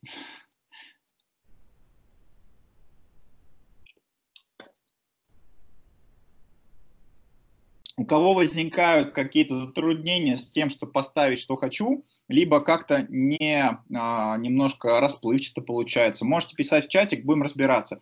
Как начать все сначала, что все? Ну, то есть конкретика. Вот представьте, что вы объясняете, я, я не знаю вашу жизнь. Что все начать сначала? Жизнь. А родиться заново не получится. Я думаю, что вы знаете про это. То есть родиться не получится заново каким-то образом. Придется что-то делать с текущего момента. Большая проблема. Понять, что хочу. Сергей. А, смотрите, Сергей, а, вот Оксана написала. Пробовать нужно. Вот нужно пробовать если вы пробуете, вот это понравилось, это не понравилось, это пробовать, пробовать, пробовать. Вы сразу, у вас, чем больше вы пробуете, тем больше у вас выстраивается э, вот этот момент, что вы будете понимать, что не хотите, что хотите. Только пробовать. Оксана пишет, цель надо сформулировать или вопрос на засыпку задать. Формулируйте цель себе. Ну, то есть, что вы хотите. И потом идете по вот этим вот э, четырем, трем уже точнее пунктам. Так, э, окей, как не сойти с ума в карантине? Книги читаю, фильмы смотрю, но много энергии. Окей, смотрите, тогда более конкретные к вам будут вопросы. Что значит не сойти? Вот не сойти с ума, а что вместо этого сделать? Я вам буду надоедать очень сильно, потому что я буду спрашивать, что вместо этого. То есть не сойти с ума, а что сделать?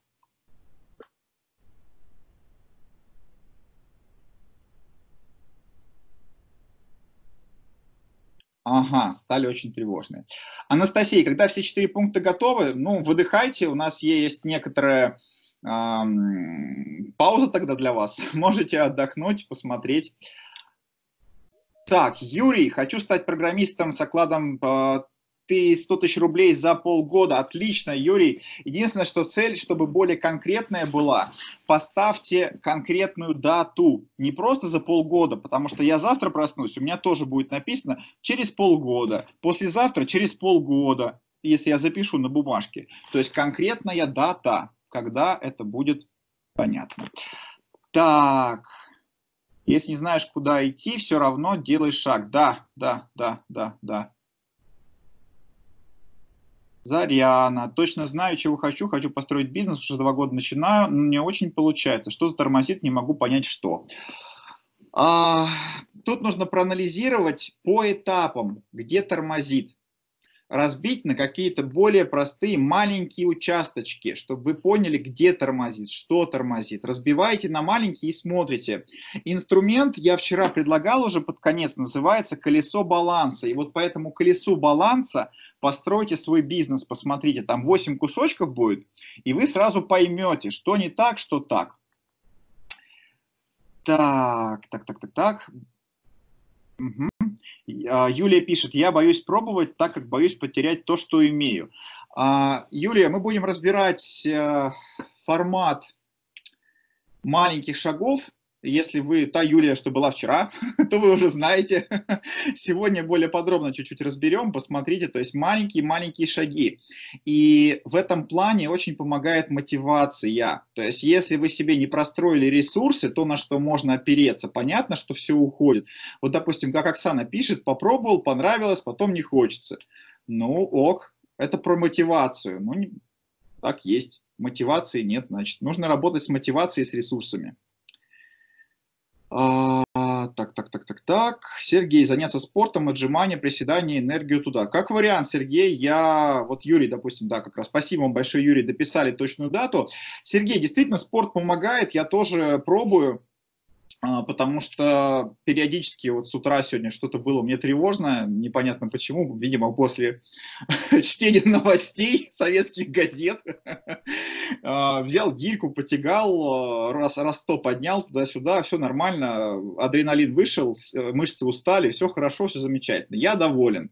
Действительно, спорт помогает. То есть, если тревожитесь, одно из, один из советов вообще для ораторов – даже для тех людей, которые занимаются публичными выступлениями, перед выступлением поприседать немножко, выплеснуть энергию. Прекрасно работает. Вера, найти новую работу, зарплату от 150 тысяч рублей с хорошим руководителем до 1 сентября 2020 года. А, спасибо вам большое, Вера. А, вы распишите поподробнее, что за новая работа, то есть любая работа, и что значит хороший руководитель. Потому что у меня хороший – это одно, у вас хороший – это другое. Расписывайте конкретно, то есть руководитель обладает вот такими-то компетенциями. Как вы это поймете, это уже будет четвертый пункт. Новая работа в какой области? Конкретика. Светлана нам пишет. А если что-то начал делать, понимаешь, что не хочешь уже этого делать, но жалко бросать, и все вокруг говорят, что надо довести начатое до конца. Но на это уходит много сил, которые мог бы направить в другое русло. А, тут очень важный момент вы отметили, действительно, спасибо вам большое за это. А, окружение может нас очень сильно м, тянуть. Вы понимаете в любой момент, вот вам это нужно или не нужно. То есть вы э, во многих вещах договоры ни с кем не подписываете. Ну вот просто не подписывайте, что вы обязаны это сделать. Ну то есть, ну да, мне бы очень хотелось, чтобы вы это сделали, но если вы это не сделаете, ну это же ваш выбор. Отказаться всегда мы вольны. Это знаете, как много фильмов, может быть, не очень красивый пример, про сбежавших невест, когда они там стоят около алтаря, и просто передумала, ушла, стресс нахватил. Ну вот Тут вы понимаете, зачем вам это нужно. То есть, если вы хотите потратить силы, чтобы эти люди были спокойны вокруг вас, ок. Если нет, значит нет. Это про умение быть в ресурсе и уметь выдержать вот эту агрессию либо давление. Начинается все с маленьких шагов. Пробуйте, пробуйте потихонечку. Заряна пропустила вчерашнее колесо, пересмотрев записи. Колесо мы не разбирали, просто вот э, само название, в принципе, увидите, то есть э, колесо баланса, вбиваете в интернет. Прекрасно, прекрасно. А, Оксана, как работать с мотивацией прямо до слез? Оксана. Николай, вес гири, 24 килограмма, Николай. А как приучить к себя к спорту? Неоднократно покупал абонемент, ходил через «не хочу», ну и скучно там и неинтересно. А, мне тоже было ужасно скучно, я поэтому не хожу в спортзал как таковой, потому что мне не с кем ходить. Я вообще компанейский человек, и мне пришлось найти друзей. Вот, э, во-первых, я когда пришел на занятия рукопашным боем, там был прекрасный тренер, и я, считайте, ходил не из-за тренировок, а из-за него, потому что очень хороший человек, контакт, мы очень подружились. И потом, когда он ушел, он пошел на директорскую позицию, он, в принципе, раньше был директором, ну, то есть вот для нашей группы преподавал. Но он, получается, пошел, и, что-то мне было лень ходить на самом деле. Я с, с, коммуницировал со своим хорошим другом с этих занятий. Мы сейчас занимаемся отдельно, пока это карантин. А, не занимаемся, конечно, но так мы занимались прекрасно работает. То есть, если не получается, найдите себе кого-то, это, знаете, как круговая порука. Положительная сторона. Мне помогает. Так, Снежана пишет, да, да, да, спасибо вам большое, Снежан. А, действительно, 8 сфер а, прекрасно работает, очень хорошо помогает. А, Алена, хочу стать HR-специалистом, чтобы помогать людям находить себя и место работы с нового 2021 года. Алена, спасибо вам большое. А, очень классная у вас цель, очень хороший запрос. Для того, чтобы сделать его еще лучше, сформулируйте, что значит HR-специалист. В какой компании хотя бы помогать людям, это, в принципе, очень хорошая у вас мотивация, очень такая положительная, прекрасная. Снова 2021 года, это значит, поставьте дату, то есть с какого числа. А, Дарья, Андрей, если цель стать успешным в профессии преподаватель, как сформулировать вопрос 4? А, представьте некое свое будущее. Ну, то есть э, вы, допустим, выступаете, находитесь в аудитории такой-то, а, конференц-зал отеля Хилтон какого-нибудь, вокруг вас столько-то человек. То есть это некая а, цель, к которой вы идете, вот что у вас в голове. Так, Юлия пишет, Алена, предлагаю вам попрактиковаться на мне и помочь мне найти работу. Слушайте, прекрасный запрос, вот, пожалуйста. Юлия, прекрасный специалист. Вчера мы разбирали как раз-таки, как э, работать с законами. А, она все прекрасно усвоила. Если хотите, помогите, вот э, как раз-таки и будет польза. А, Людмила, Кроме пробовать, какие еще методы определиться? Пробовать не подходит для выбора новой работы, выбора спутника жизни, выбора места жительства, слишком ресурсозатратно. Но смотря как, смотря сколько у вас ресурсов. Потому что выбор спутника жизни, ну, кому-то везет, у кого-то прям сразу появляются отношения первые. Я таких людей встречал. У кого-то нет. И э, человек сам выбирает. То есть отношения это не про то, что мы там идем, и вот она любовь, она упала на нас. То есть это про то, что мы строим отношения с человеком. Как-то так. А, это всегда некий компромисс, всегда выбор, всегда трата ресурсов. Это всегда будет. Выбор места жительства а, зависит от больших, от других вещей. То есть можно на примере выбирать. То есть как только вы начинаете выбирать с маленьких даже вещей, все равно у вас будет потом вылезать. А, кроме пробовать, боюсь, что нет. В теории можно расписать, на практике все может отличаться. Лариса, желаю расти, изменить свое жизненное развитие по личному плану, новую специальность. Ну, отлично, расписали, прекрасно. Так, у вас обменялись почтами, найти тот вид спорта, который приносит удовольствие, Анастасия пишет. Действительно, очень важно. А, данный курс записи, после вам должна прийти ссылочка. Про спорт, понять, зачем ты это делаешь, для себя любимый, тоже вариант.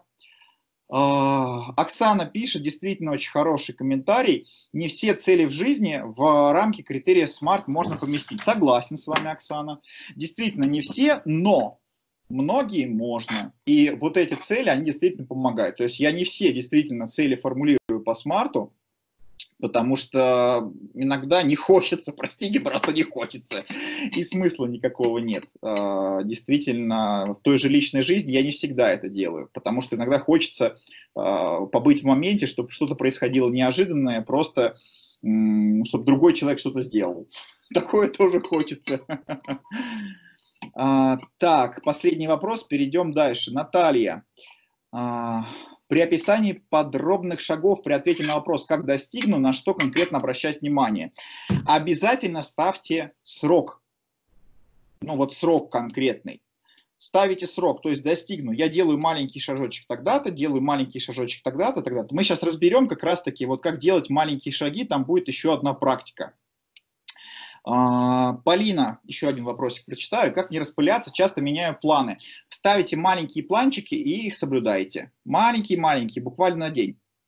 Потом на два, потом на три, потом на четыре. И окажется, что потихонечку вы уже можете соблюдать. Спасибо вам большое. А, так, идем потихонечку дальше. Следующая модель, согласно которой вы можете ставить перед собой цели, разбираться, это модель под названием Grow. Ну, по-английски это расти, рост, grow. И существует две расшифровки. А, тут, как обычно, это некая аббревиатура, то есть uh, grow расшифровывается как goal, reality, options, will.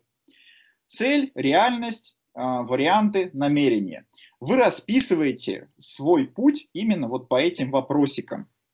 Uh, не вижу смысла оставаться здесь надолго. Перейдем к следующей расшифровке. Goal, resources, options, why. Цель, ресурсы, варианты, смысл. Просто фиксируйте.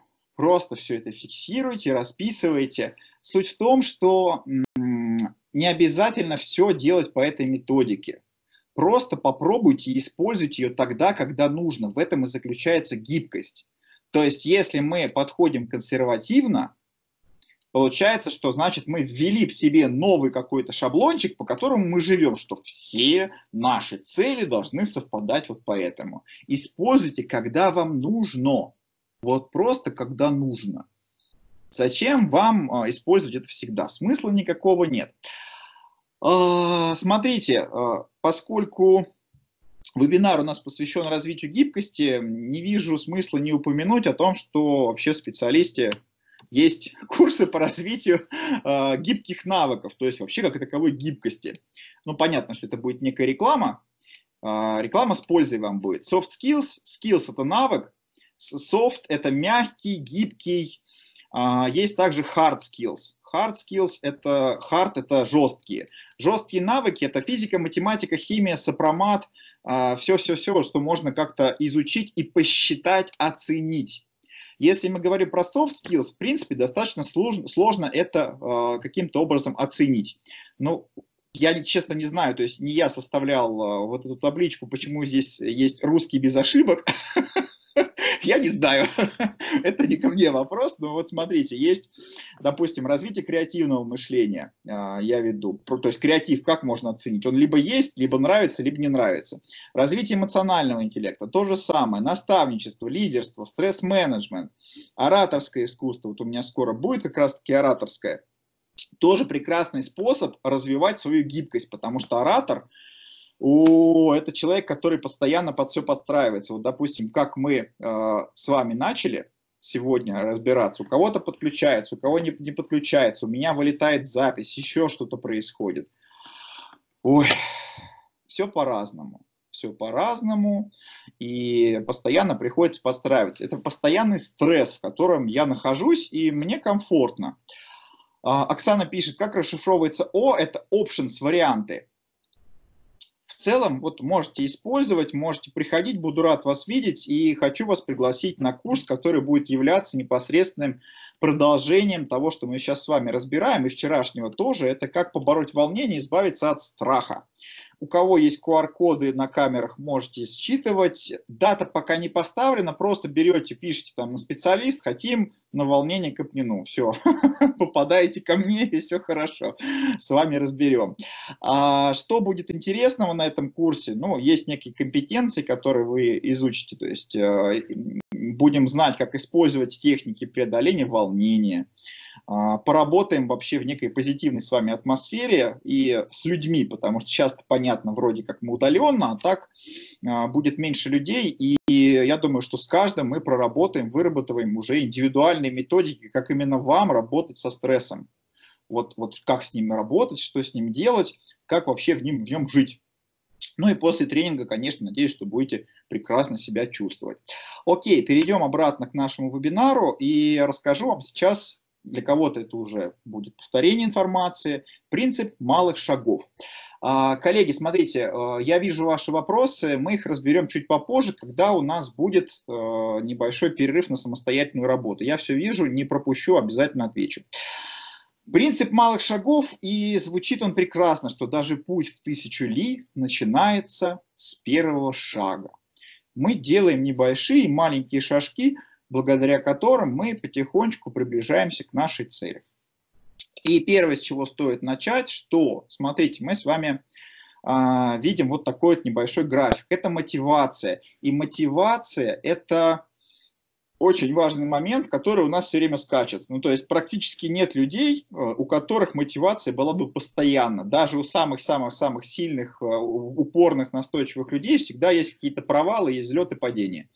И мотивация идет вверх-вниз. Соответственно, если мы берем какую-то э, цель большую, тяжелую, она буквой А здесь обозначена, вот эта вот штрих-пунктирная линия, то в какие-то моменты нам мотивации просто не хватит для того, чтобы ее выполнять красным эти моменты выделены. Если мы берем какую-то небольшую, маленькую привычку, цель, ну, она прекрасно укладывается, и даже с небольшой мотивацией мы сможем ее выполнить. Второе, повышайте частоту занятий постепенно и медленно. В этом заключается именно мощь небольших усилий. Тут я обычно привожу пример, что если вы хотите начать вставать на час раньше, то люди сразу так, вот я сейчас поставлю будильник на час раньше, просыпаются и такие, господи, я спать хочу, не будите меня, не трогайте. А, и получается, что просто хочется поспать если сразу вводить что-то большое. А если представьте, что вы каждый день ставите будильник на минутку пораньше, через месяц вы уже будете вставать на 30 минут раньше, через два месяца на час. Да, понятно, что у вас займет гораздо больше времени, но на минутку в день, это гораздо проще, чем на час. И, скорее всего, вы этого не бросите, потому что это гораздо проще. На минутку это не замечается абсолютно. Второе. А, простите, третье. Разложите объем работы на части. Ну, разбивайте по кусочкам, по кусочкам, по кусочкам. Это вот как занятием спортом. А, если вам нужно провести в медитации 20-30 минут, для меня это очень много. Поэтому если бы я начинал заниматься, вместо 30 минут – я бы разбил на 6 участков по 5. и посидел бы спокойно по 5 минут, это вполне себе осуществимо. Бьем на маленькие части. Следующее. Если вы сошли с пути, продолжите занятие как можно быстрее. А, то есть, если вы что-то пропустили, ну ок, бывает. Это про ошибки. Мы чуть попозже поговорим как раз-таки про них подробнее, но ошибки. Если у вас возникают ошибки, ничего страшного. У всех бывают ошибки, все ошибаются. Главное быстрее возобновить. Ну, это знаете, вот как бывает, ой, такая вкуснятина лежала в холодильнике, я съел, все, диету можно не соблюдать, потому что я уже все, я уже поел. Нужно срочно еще съесть пару пирогов, пару тортов. Ну, съел, да съел, бывает, но больше не буду, потому что нужно идти дальше. И очень важный момент, постарайтесь быть терпеливыми, придерживайтесь того темпа, который вам свойственен, которому вы можете следовать. Ну, то есть, если мы берем вот такой вот график, у нас есть некая устойчивость и есть усилие. Если мы прилагаем только усилия, мы очень быстро выгорим. Профессиональное, вот эмоциональное выгорание, это не миф, оно реально существует. А устойчивость, мы сидим на диванчике, на стульчике, смотрим сериальчики и прекрасно, замечательно себя чувствуем. А зона долговременного роста, она где-то посередине у нас. Ну, то есть вот мы формируем вот эти полезные привычки просто посерединке, прилагаем некоторые усилия, но в том темпе, который нам комфортен. Окей, коллеги, сейчас, а, вчера это не было рассказано, сейчас я вам, а, хотя давайте мы с вами перерыв-то не делали, давайте сделаем перерыв и как раз разберем вопросы. Перерыв у нас будет с вами до 16.00. В 16.00 всех вас жду, а пока что с вопросами разберемся. А, так, так, так, так, так. Как не распыляться? Мне так это я ответил. Анна спрашивает, что будет, если не уложитесь в срок? Смотрите, поскольку вы разбиваете цель на какие-то маленькие кусочки, мы сейчас это будем разбирать, а, вы будете понимать, что не укладываетесь уже на каком-то другом этапе. И если вы по-прежнему хотите эту цель продолжать, ну, скорректируйте срок, что поделать. Ну, вот так получилось. Это гибкость та самая. Вы гибко корректируете срок, потому что сразу его угадать в долгую это практически нереально. То есть чем дольше наш срок, тем больше может произойти каких-то неожиданных событий. Как вылезти из нежелания разбираться с личной жизнью? Да никак, не разбирайтесь и все, э, Галин. Э, реально, то есть если вам не хочется, просто оставьте. Вот в сторонку положите, и в какой-то момент вам может захочется. Ну, то есть, если вам действительно хочется, вы понимаете, что а, вот этот момент, он для вас важен, вы понимаете, что это важно, но не то, что не хотите, не хотите, а боитесь. Раз, разграничьте чувства. То есть, если вы хотите, но боитесь, это одно. Если вы не хотите, то зачем это делать? Судя по вашему вопросу, возможно, у вас существует некая тревога и как раз-таки вот с ней уже можно работать. Это не нежелание, это немножко по-другому. Оксана спрашивает, как расшифровывается буква R в слове grow? А, по-разному. Она расшифровывается как reality, то есть реальность, мы записываем, где мы сейчас. Либо а, расшифровывается как resources, то есть ресурсы, расписываем свои ресурсы. А, так, дальше. Дальше, дальше, дальше. А, Юлия, честно, по медитациям я не очень хорошо разбираюсь. Я периодически, когда мне хочется а, чего-то медитативного, я себе включаю New Age группу. Сейчас я вам напишу ее в этот наш прекрасный чатик. Вы загуглите, посмотрите. Мне очень нравятся медитативные такие мелодии прекрасные. Я с удовольствием их слушаю. Сейчас пишу.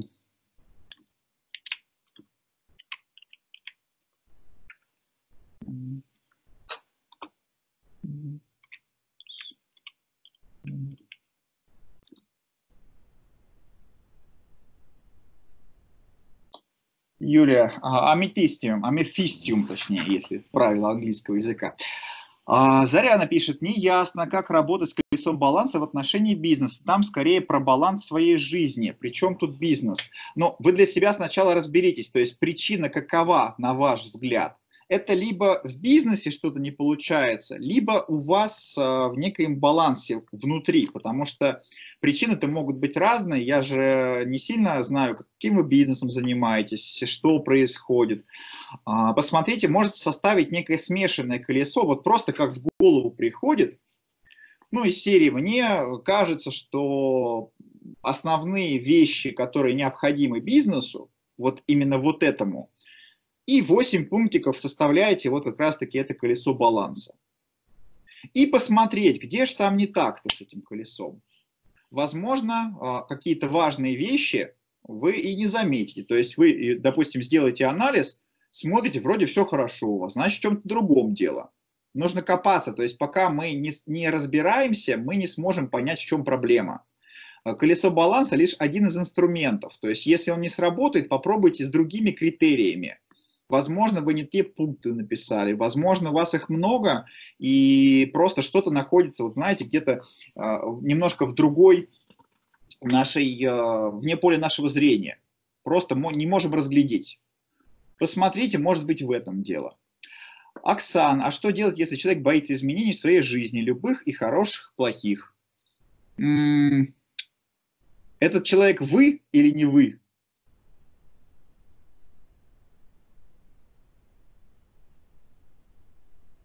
Рядом сидит. Окей, Оксан, смотрите, а, тут вопрос не к вам уже, а к человеку, а хочет ли он менять что-то или не хочет. То есть, если хочет, тогда есть принцип действий. Если не хочет, ну ок. Так, сейчас, секундочку, секундочку. Так, э, Заряна, аппроксимити... аппроксимировать колесо на бизнес, не затрагивая остальные области жизни. Сделайте как хотите. Зарян, попробуйте. То есть я просто не знаю, в каком именно моменте у вас некий затык происходит.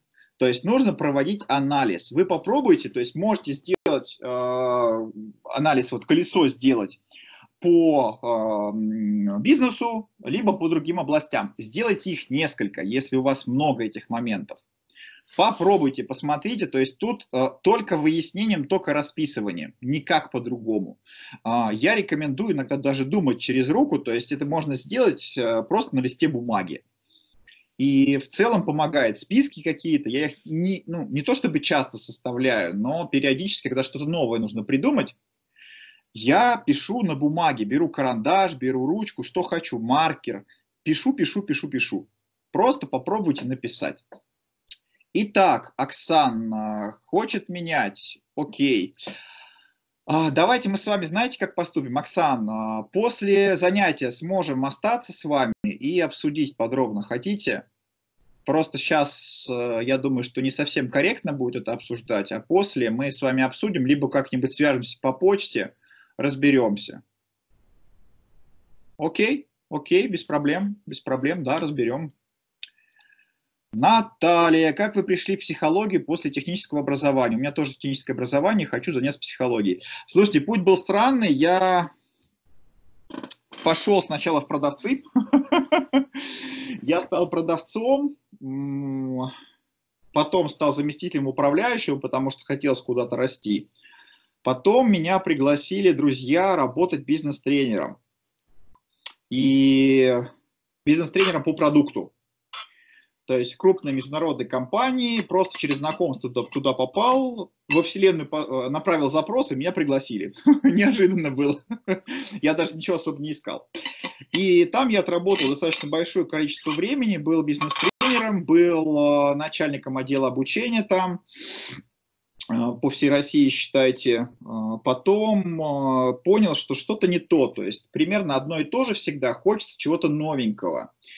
Ну и новенькое, это у нас психология, коучинг, у людей постоянно что-то новое, они по-разному все а, каким-то образом меняют, по-разному ставят запросы, все очень интересно, постоянно все меняется. Вот, в принципе, я потихонечку и пошел, то есть у меня была некоторая база, на которую я потом накладывал психологию, плюс мне всегда это было интересно. То есть помимо того, что я учился в ВУЗе техническом, я еще очень много психологической литературы читал, э, очень много изучал э, про ту же когнитивную психологию, которую я всегда рекомендую. А, вот так, пошел, пошел, пошел, пошел. Для меня психология – это некий инструмент. То есть это про, знаете, про то, где ее можно использовать. Потому что полностью в психологии работать э, я, наверное, не смог бы. Это нужно немножко другой характер, на мой взгляд. Потому что я экстраверт такой, не сильно ярко выраженный, но мне с людьми хочется общаться. И, соответственно, я пошел, пошел, пошел вот в этом направлении, все, как-то так. Потихонечку заменял. Есть, знаете, такая книжка, я ее очень давно читал, не могу найти сейчас. Она называется, ну, в электронном виде наверняка найдете, она называется «Какого цвета ваш парашют?».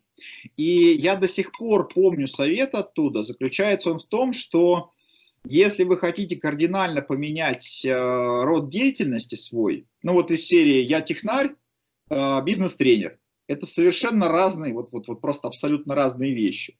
Соответственно, э, мы можем либо сразу перескочить, либо делать по частям. Ну, допустим, я выбираю какую-нибудь интересную компанию, вот, допустим, ту, в которой я работал, и устраиваюсь туда не бизнес-тренером, а технарем вот чему учился, собственно, я там этим и занимаюсь. Набираюсь знаний в этой компании, получаю некоторый опыт, и потом иду на позицию бизнес-тренера. То есть последовательный рост. Перескочить бывает очень сложно. Очень сложно. Марина, как работать в найме, если ты медлительный человек, чем остальные? Слушайте, ну тут моменты разные. Если мы говорим про медлительность, э, это касается всего или какой-то части? И вообще, что вы поднимаете под медлительностью? Тоже хотелось бы понять.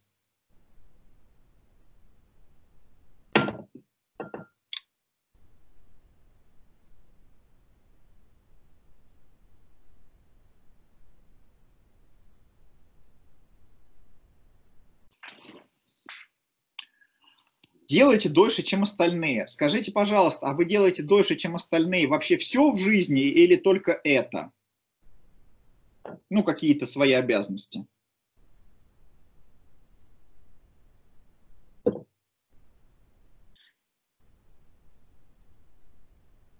Все, наверное. Вот смотрите, а, это тоже, наверное, если захотите сделать домашнее задание вам, проанализируйте, все ли вы делаете медленнее, чем остальные. Потому что есть люди, которые просто вот за счет э, строения своей нервной системы, за счет мозга, они делают медленнее, но более надежно. Понимаете, вот я достаточно быстрый человек, и какие-то моменты я прям давай, давай, быстро, быстро, быстро делать. И у меня не всегда получается сделать как-то надежно, чтобы это было вот э, просчитаны все какие-то вероятности, что может произойти не так, вот более детально, вот действительно. То есть, понимаете, у вас, э, вы посмотрите с другой стороны, то есть это про, вот сейчас как раз будет несколько слайдов чуть попозже, про восприятие реальности. Посмотрите, э, какие плюсы вы можете из этого извлечь. Потому что э, медлительность, это, ну, вы так это называете, я бы назвал это вот более детальная работа. Понимаете, то есть вы более детально делаете, это ваш плюс. Осталось только приложить этот плюс куда нужно. А, это знаете, как есть такая шутка, а, если ваши достоинства на собеседовании никому не, приглади, не пригодились, попробуйте предложить свои недостатки. Ну, то есть, как вы считаете. Возможно, то, что вы считаете некими недостатками, ну, возможно, это будет интересно. Так, Александр спрашивает, а тема а, семинара разве не была посвящена работе с волнением при прохождении собеседований? А, нет, Александр, не была. Называется тема «Лучший совет для успешной жизни». Так, Заряна спрашивает, а что делать, если туалет строишь, как космический корабль запускаешь? А, вы имеете в виду настолько усилена подготовка, настолько усилена работа? Я вас правильно понял?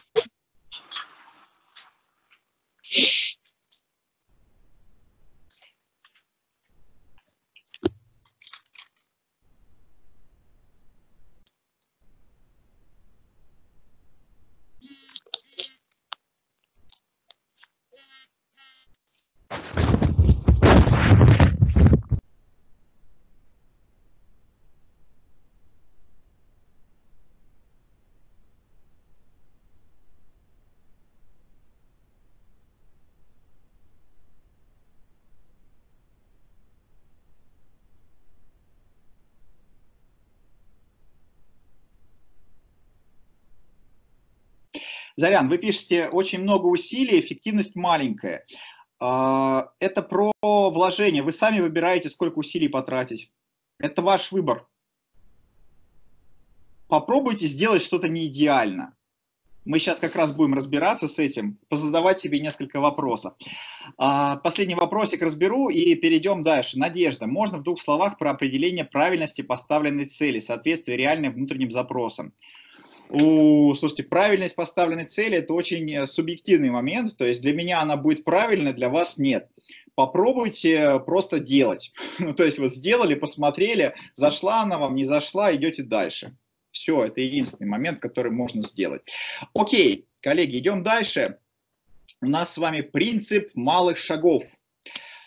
Тоже, слушайте, наверное, практику мы с вами не успеем по этому поводу, потому что вопросов много. Давайте сделаем следующим образом. Я вам расскажу, э, каким образом это делается. Так. Ага. У кого-то есть какая-то маленькая-маленькая-маленькая задачка. Мы можем разобрать.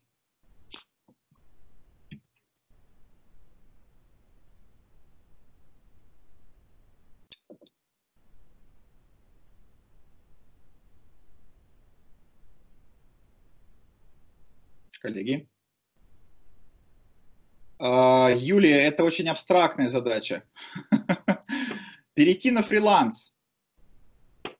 Окей, давайте, вот первый человек написал. Елена Владимировна, сможете камеру включить?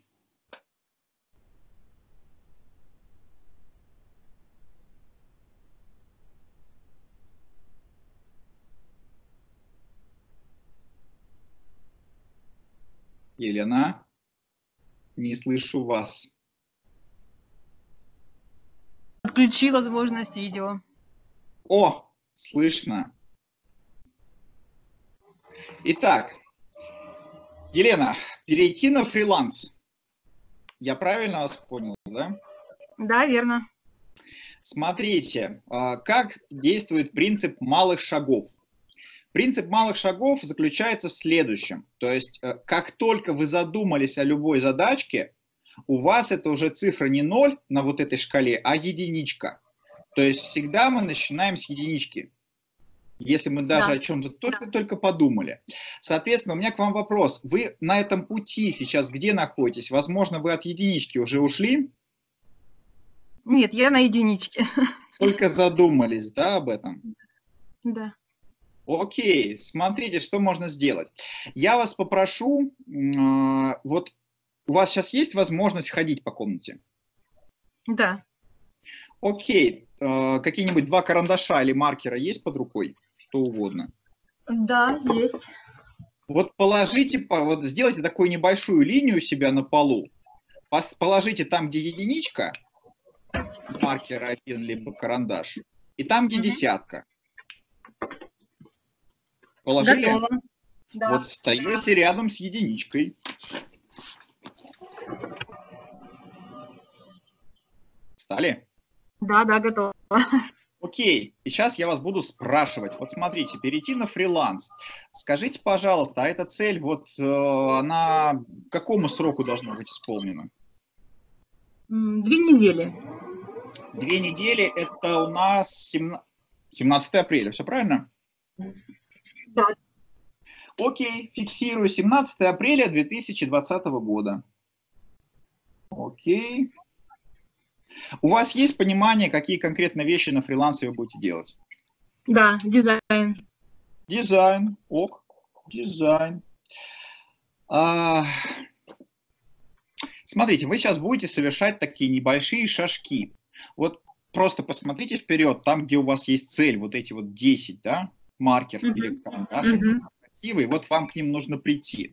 Вы делаете шаг по направлению к этой десятке, и в какую точку вы придете, если один шажочек сделаете. То есть вы можете через несколько цифр переходить, можете через одну, вот как вам комфортнее. Ну, два, наверное, надо с чем-то выйти, портфолио приготовить, наверное, а, так? Вот смотрите, здесь очень важный момент. Прям физически в эту двоечку шагайте. Да и физически оглянитесь назад на единичку. Оглянулась. Видите, вы уже шаг сделали, то есть вы что-то уже сделали, вы сейчас в двойке стоите. И скажите мне, пожалуйста, а что же вы сделали, чтобы в двойку попасть? О, это большой труд. А что сделали конкретно? Просто? Шаг, шаг. Ну, сейчас просто шаг. А на Сейчас? деле большой труд. Ну, на деле большой труд, это что вы сделали? Вот представьте, что по аналогии, вот вы сделали шаг, а для того, чтобы приблизиться к своей цели, а, перейти на фриланс в дизайне, вы какие-то действия сделали. Что вы сделали? Ну, по разным направлениям приготовила работы, которые я могу презентовать. По каким направлениям? Графический дизайн, видео, Ага. анимация. А сколько работ? По пять штук на каждое направление. По 5 штук на каждое направление. И когда вы это сделали, ну вот если вы сейчас в двоечке стоите, да, Три дня. три дня, то есть э, 6 апреля, я вас правильно услышал? Да. Окей. Сможете сделать следующий шаг, можете на несколько шагнуть, на один, как хочется. На один. Куда приходите? А, ищу ресурсы, где зарегистрироваться во фрилансе. Сайты А как? какие-то. А, а, сайты ищете. Так, а каким Мгм. образом ищете? Нет, смотрите, давайте вот немножко по-другому. То есть вы уже в троечке, это значит, что вы это уже сделали. Попробуйте вот в таком формате. То есть в двойке вы оказались, потому что составили определенное портфолио. В троечке, потому что вы нашли ресурс. А где вы их нашли-то? В интернете. Ну, в принципе, уже есть э, какие-то понимания, где люди зарабатывают на фрилансе. А как еще можно найти? Ну, на форумах, наверное. На каких? Вот не знаю. Еще не Ага. занималась этим вопросом. На форумах. Окей, окей. И когда же вы это сделали? Сайты, форумы? Ну, это недолго. На это можно полдня потратить. Полдня и число-то какое? Я просто конкретику. 7 апреля. 7 апреля. Так. Дальше делайте шаг, куда придете. Ну, на этих сайтах, наверное, уже искать работодателей, самой предлагать свои услуги. Смотрите, искать это процесс. А я вас спрашиваю, что вы сделали. Ну, то есть пункт какой-то. Вот знаете, идти Мгм. и прийти это Нашла, разное. нашла клиентов, с которыми хотела бы поработать. А как вы их нашли-то? Как зацепили? А, Ну, я так думаю, что там есть а, предложение по работе. Так, предложение по работе. О, Написала им, да, отметила как-то свое существование. Какое число? А, 10 апреля. 10 апреля. Хотите дальше идти? Да. Шагайте. Шагнула. сейчас?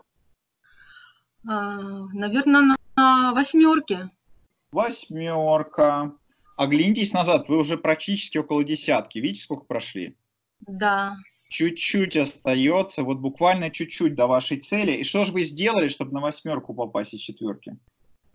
Завязала общение, контакты, набралась больше опыта. Завязала общение, контакты, больше опыта. А что-то конкретное есть, потому что общение, контакты это очень абстрактно. Вот опыт тоже. Конкретно. Ну, конкретно, наверное... На- А, взяла тестовое задание, наверное, так. Тестовое задание, так. Одно или несколько? Одно. Одно. Число? А, 15 апреля. 15 апреля. Из восьмерки куда вы шагаете? В девятку. Девятка. Так. И что вы в этой девятке из восьмерки сделали? Что сделали, чтобы попасть? Ну, прошла тестовое задание и взяла работу. Так, взяла работу. Отлично. Число? М, 16 апреля. 16 апреля. И дальше вы шагаете? Ну, выполняю заказ. Выполнила, И- выполнила заказ. Е, десяточка, шагнули? Да. Вот, вы уже в десятке, то есть своей цели вы достигли, то есть вы выполнили заказ. Ну, отлично, вот у вас есть некий план небольшой. Маленький такой, небольшой. Ну, реальный, в принципе. но реальный. Да, спасибо вам огромное, что вы мне помогли провести такую презентацию. А, Суть в том, что вот эти малые шаги, они действительно важны и они простые. Потому что а, перейти на фриланс, это кажется что-то очень-очень-очень большое. И туманная. Если мы делаем вот, вот на такие вот маленькие шажочки, оказывается, что в принципе все эти шаги состоят из конкретных действий. И Да, они. Андрей.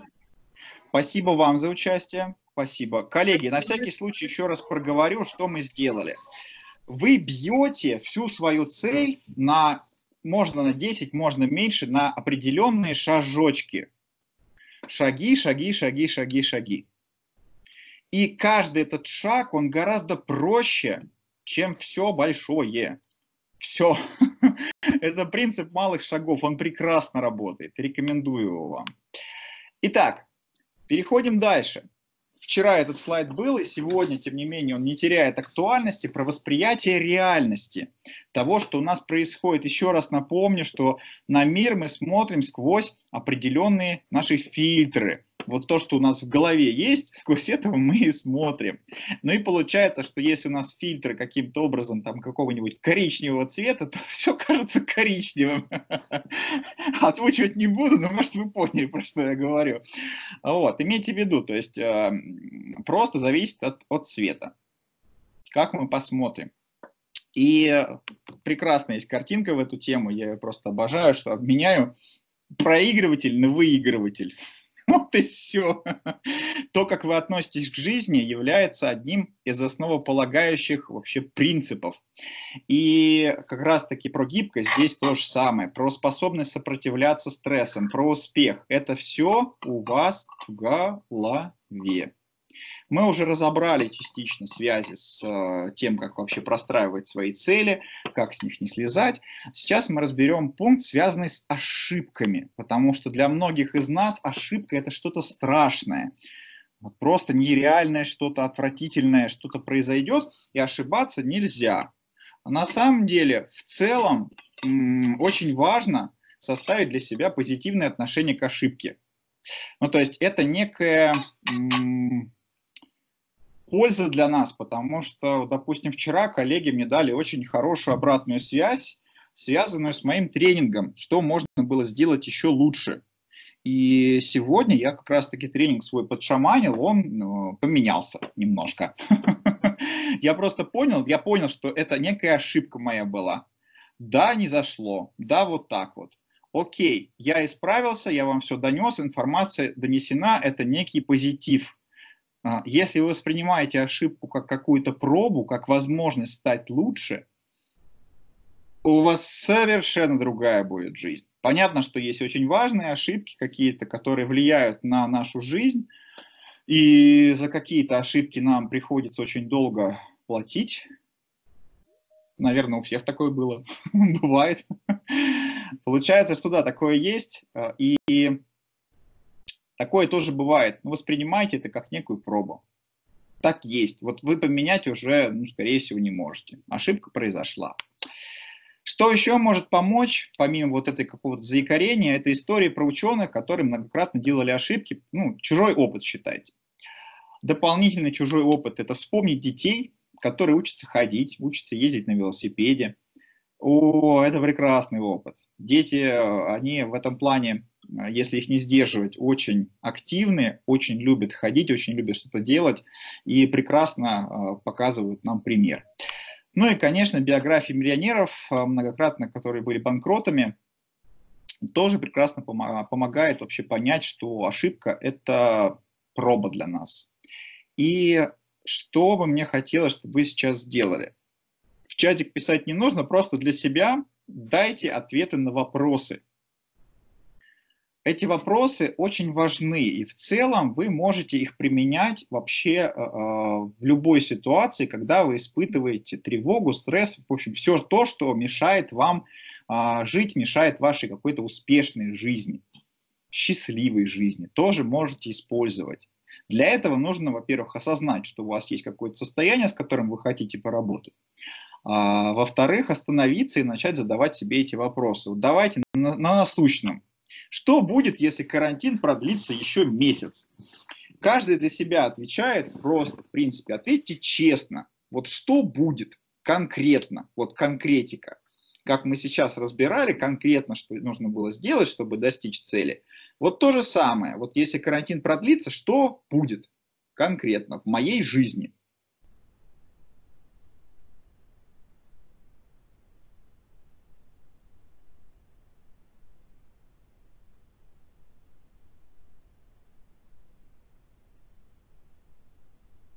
Второй вопрос. Придумайте самое-самое-самое страшное. Вот что только можете представить, что действительно может случиться, если карантин продлится месяц. Вот самое страшное.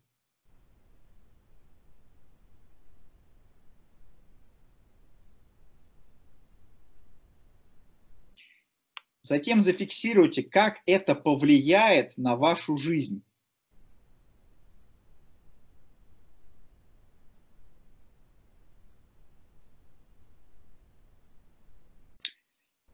Этот прием очень хорошо работает, потому что если вы представляете самое страшное и понимаете, как это повлияет на вашу жизнь, вы уже можете к этому подготовиться, если хотите, конечно.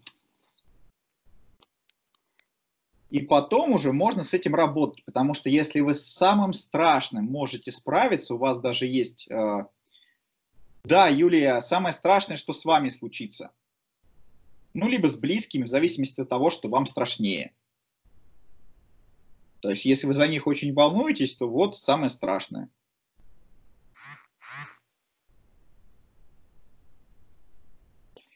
И если вы распишете, что же делать, если у вас произойдет самое страшное, то все остальные события будут какой-то мелочью.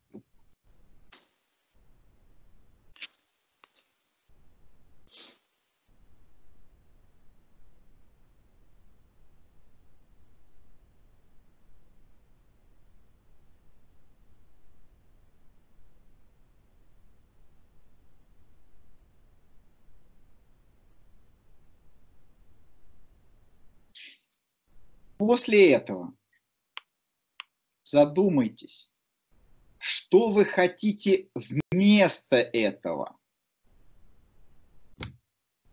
Очень многие, когда ставят цели, они говорят, что э, я не хочу испытывать стресс. У меня сразу вопрос, что вы хотите вместо этого? Это про, знаете, положительную отрицательную мотивацию. Туда-сюда, туда-сюда. Что вместо этого хотите? Почему это важно для вас?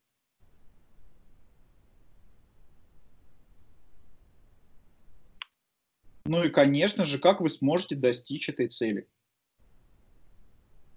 Что вы сможете сделать, конкретные шаги. Вы любую свою тревогу, все, что хотите, можете пропускать через эти вопросы они прекрасно работают. Вот просто прекрасно. Вот абсолютно любое. Тревоги, мысли. И э, когда расписал ручками, понимаешь, что, ну, может быть, и не стоило так сильно волноваться. Понятно, что есть какие-то вещи, по которым действительно стоит волноваться, а есть, по которым не стоит. Следующий инструмент, который я хочу вам показать, э, называется «Дневник эмоций». С э, теми, кто вчера был, мы его уже разбирали. Ну, ничего страшного, я думаю, что повторение будет вам, э, возможно, интересно, будет на пользу. Дневник эмоций состоит из пяти колонок. И пятая колонка, она опциональна. В целом можете начинать просто с одной из двух, то есть фиксировать просто ситуацию, которая вас каким-то образом вывела из состояния равновесия. То есть время, ситуация. Потом уже можете добавлять, как только освоитесь, третью колоночку. Ну, принцип маленьких шагов мы с вами помним. Что вы думаете по этому поводу? Вот как пример, ситуация. Мне наступили на ногу в метро и ушли не извинившись. Ну, сейчас это очень вряд ли с условий карантина, но в целом это возможно. Э, мысли по этому поводу. Вот же ж люди пошли, топчутся по ногам и не извиняются. Какие наглецы. Как мне теперь с грязной обувью на людях быть? Ведь засмеют же, как вот глазеют все на меня, прям смотрят. Фиксируем мысли. Следующим этапом будет добавление эмоций. То есть по первому, э, по первым своим мыслям это у меня злость, раздражение. По вторым это стыд. Это очень важный момент, который позволяет вам фиксировать ваше эмоциональное состояние. Вы научитесь понимать, что с вами что-то происходит, потому что иногда жизнь просто потоком проносится, и мы не понимаем, что вообще, где мы, как, куда. Ничего не понятно. Таким образом, нам будет гораздо все понятнее. И очень важный пункт – выводы. Можете делать это постепенно, не сразу, но а, в целом выводы могут быть у каждого свои. А, один из примеров выводов а, у нас с вами на экране. Я злюсь, если люди нарушают мои границы, надо вставать чуть пораньше, чтобы не попадать в час пик. Тогда мне будет проще контролировать свое личное пространство в общественном транспорте. Второй вариант будет договориться с начальством, чтобы попозже приезжать, пораньше приезжать, купить себе машину, все что угодно. Второй пункт – это по поводу стыда. На всякий случай буду носить с собой губку для обуви. Вдруг обувь испачкаю. Ну, мало ли, все бывает. Таким образом, мы с этими эмоциями можем расправиться, если они нам не нравятся. Если нам нравится злиться, ну, оставляйте, окей. Если они вам мешают, ну, понимаем, что с этим делать теперь. Очень важный комментарий по поводу этого дневника эмоций.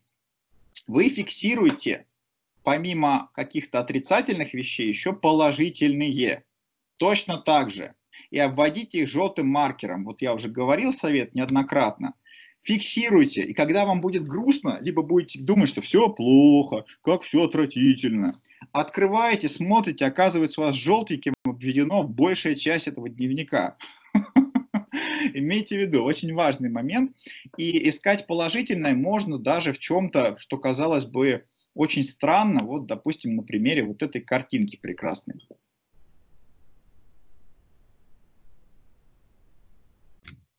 Я ее обожаю, потому что она именно про поиск положительного, про переговорные ситуации, про продажи, она про все.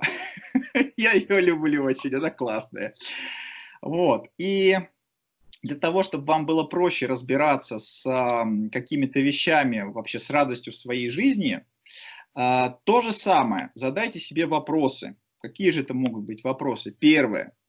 Как часто я радуюсь в жизни? Я вот сейчас чаек себе наливаю и радуюсь. То есть часто, в принципе. Пока подливаю, тоже радуюсь. Он горячий, вкусный и пахнущий. Как часто я радуюсь жизни? Ну, просто даже отвечаете себе на вопрос, как есть. Как часто я радуюсь жизни самой по себе. Как часто я замечаю радостные события и приятные новости. Как часто я наслаждаюсь моментом жизни тут и сейчас. Вот прямо сейчас. У меня, не знаю, у меня солнышко светит за окном, я... О, как классно. Можно будет выйти в маске погулять. Итак, дальше. Как я принимаю радость?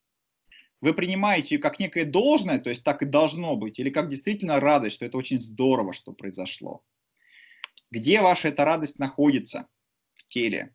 Голова, спина, грудь, ноги, большой палец левой ноги, все что угодно. Умею ли я жить полноценной жизнью? И как она для вас выглядит, эта полноценная жизнь? Вот с этим стоит поразбираться. И для того, чтобы вам было проще, 10 а, минуточек вам. Напишите не менее 10 положительных событий, которые произошли с вами за последнюю неделю. На это у вас есть 10 минут. 16.35. Я вас жду. Можете писать в чатик, можете писать себе, как хотите. Главное, чтобы у вас было зафиксировано положительные события. И берите это себе на вооружение, используйте его всегда. Можете каждый день это использовать. Просто приходите вечером домой, либо а, отключайтесь от работы в домашнем режиме и пишите список благодарностей, положительных событий. Предыдущий слайд, да, пожалуйста.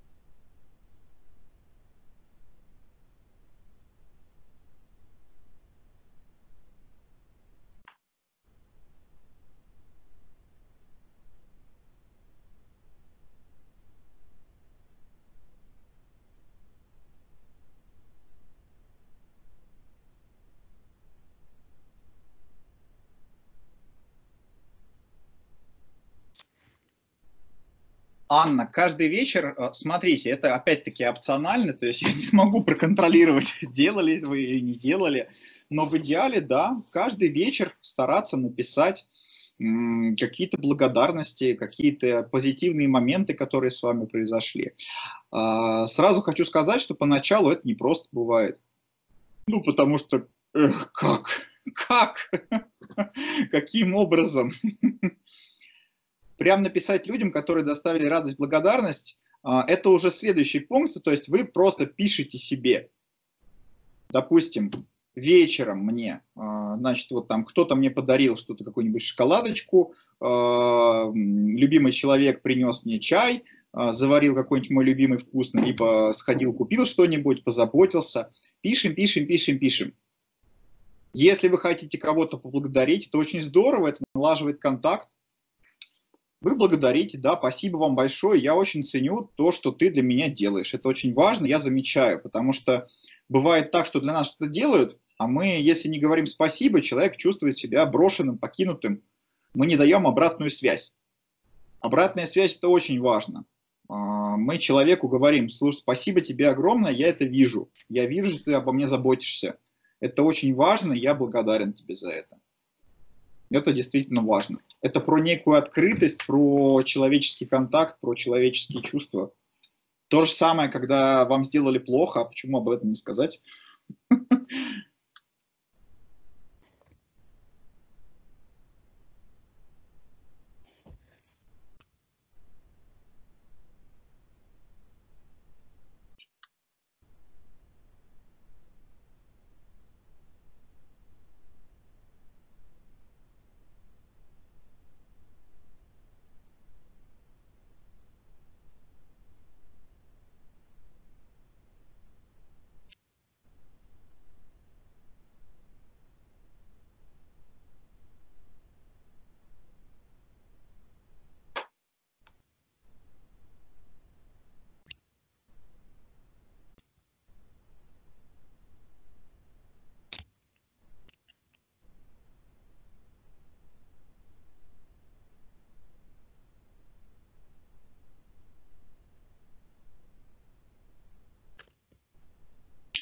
Кристина, как получить? По идее, должна быть рассылка. А, я скинул видео нашим техническим специалистам. А, по идее, вам все должно прийти. У них это все должно быть. Если по какой-то причине не приходит, напишите, пожалуйста, на почту инфоспециалист, инфособачкаспециалист.ру. А, должны выложить. Я думаю, что выложат.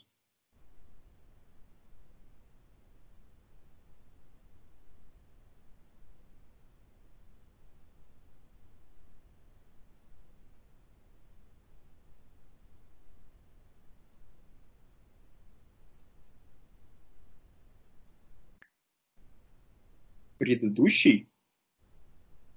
Ну ок. Пожалуйста, предыдущий слайд.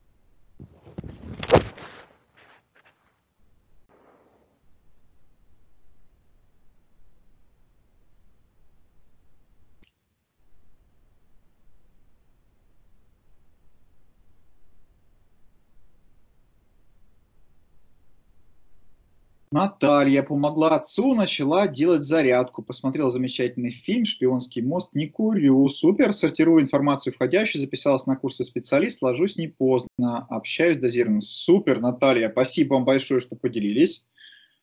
Отлично.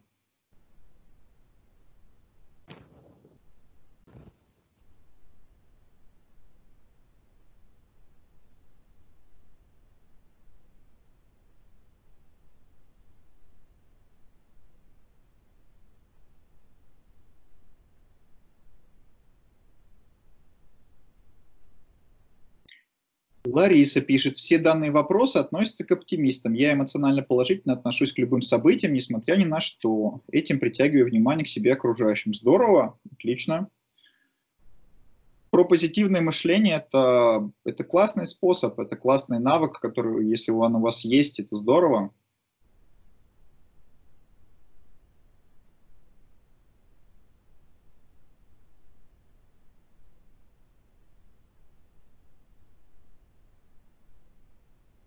Наталья, для меня всегда стакан наполовину полон. Отлично, здорово.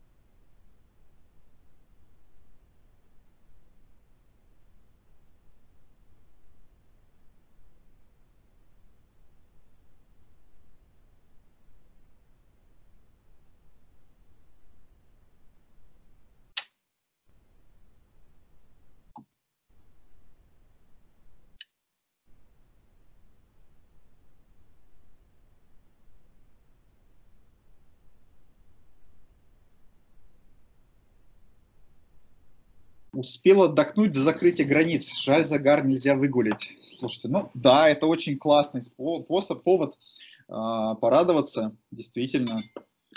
Класс, класс, здорово.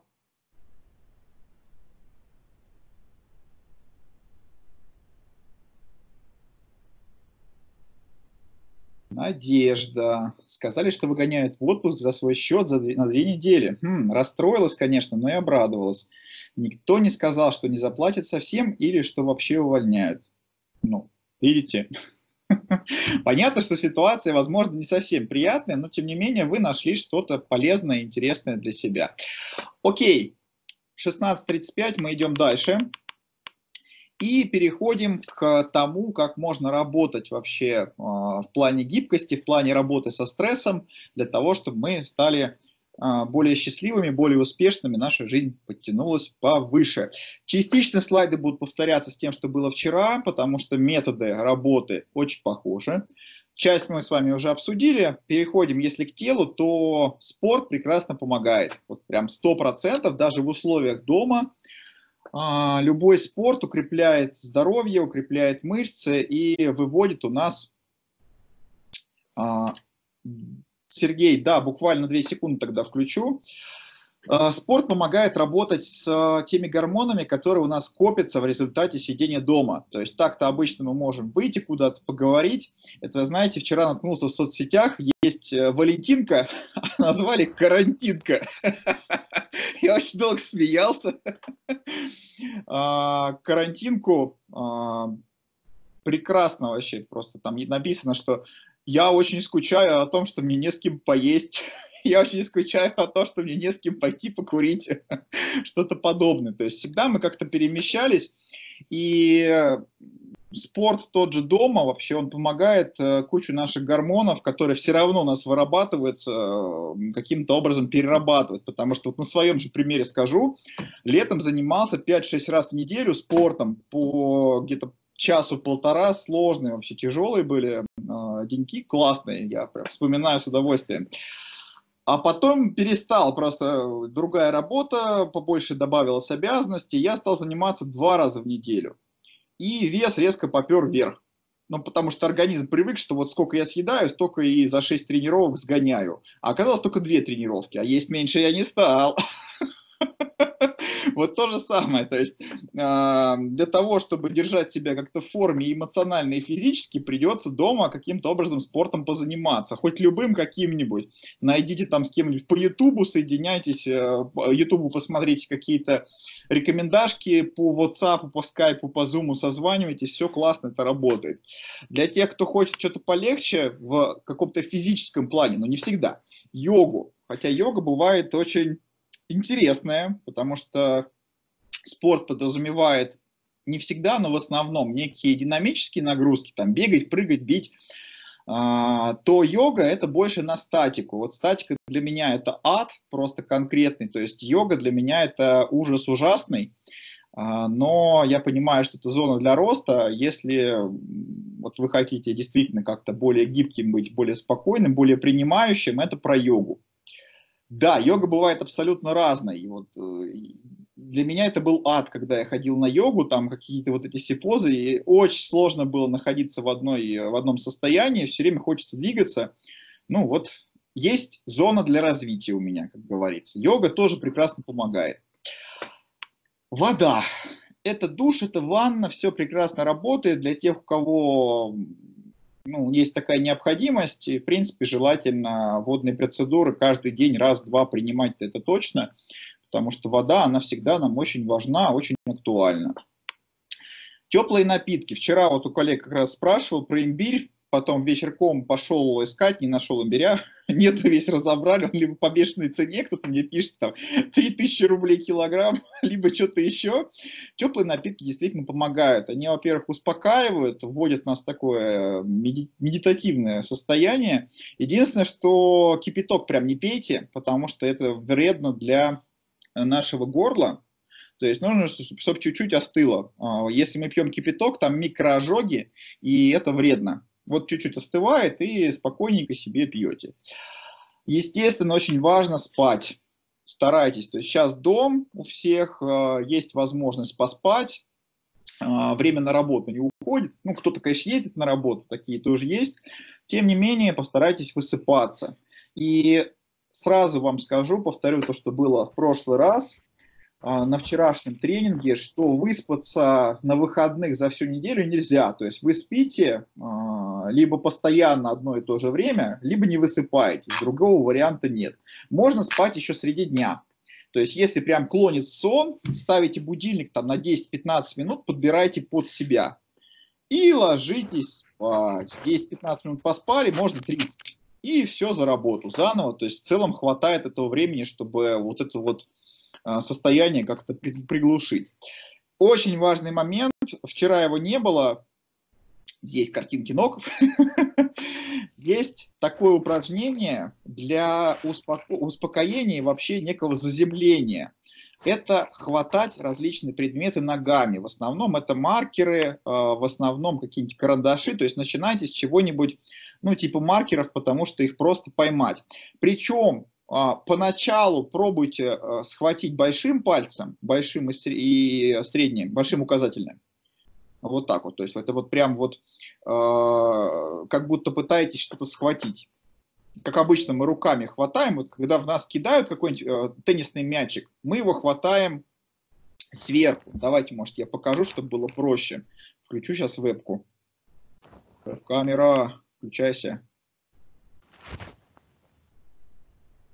что-то она не включила. Включилась. Вы пытаетесь как будто вот так поймать сверху. Ну, то есть у вас есть некий маркер, вы его вот так, понятно, ногу я не буду показывать свою, на примере руки покажу. Хватаете сначала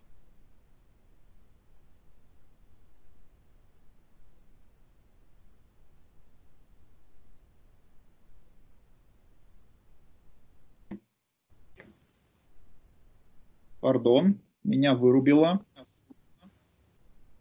Что произошло? Так, коллеги, скажите, видно презентажку вам? Плюсики поставьте, Хорошо пожалуйста. видно. Вернулось все нормально.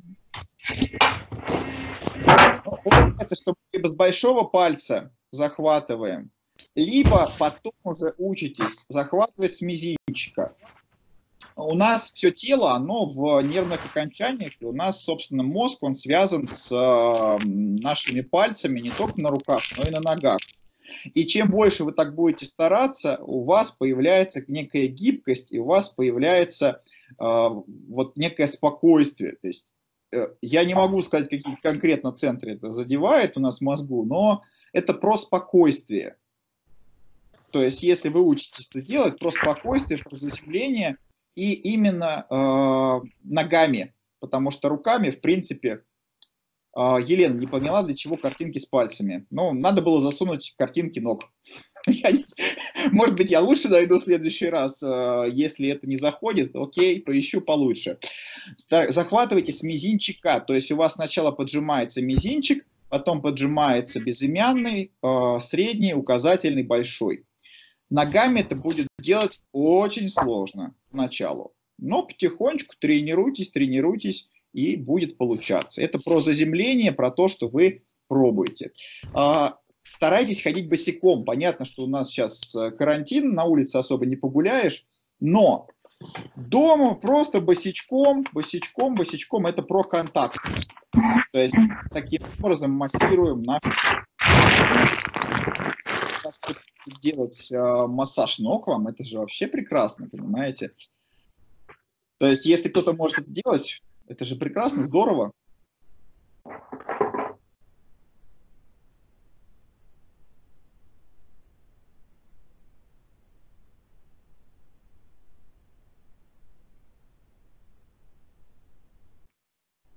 Так, звук есть у нас, все окей. То есть это, в принципе, классная штука, когда вы можете каким-то образом свои э, ноги промассировать. Это очень помогает мы на них абсолютно иногда внимания не обращаем, потому что, ну вот ноги, да, где-то там внизу, к ним еще нагибаться нужно, а руки-то близко, то есть, в принципе, руки нормально можно там помассировать, а вот ноги, ноги это очень важно, это про нашу устойчивость, про способность сопротивляться каким-то переменам и чему-то страшному, неприятному, неизвестному.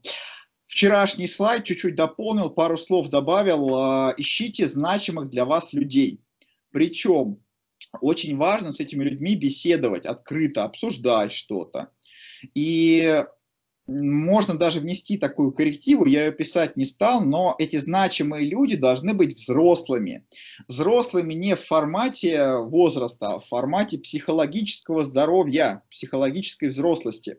Потому что я ну не всегда, но часто встречаю людей, которым лет там по 40-50, а в голове у них вот как у десятилетнего ребенка примерно такое же соображение – очень грустно бывает это видеть. Поэтому старайтесь искать значимых людей для себя, чтобы они были взрослыми психологически. Это действительно помогает, это действительно классная штука. С ними можно много чего обсудить, быть рядом, общаться, открыто общаться, говорить о том, что страшно, больно, радостно, делиться. Вот как, допустим, кто-то из вас писал, что а, можно ли поблагодарить. Да, можно, это нужно, это здорово вчерашний слайд тоже совместные действия, с людьми очень помогают справиться с волнением, с тревогой, э, находиться рядом с людьми.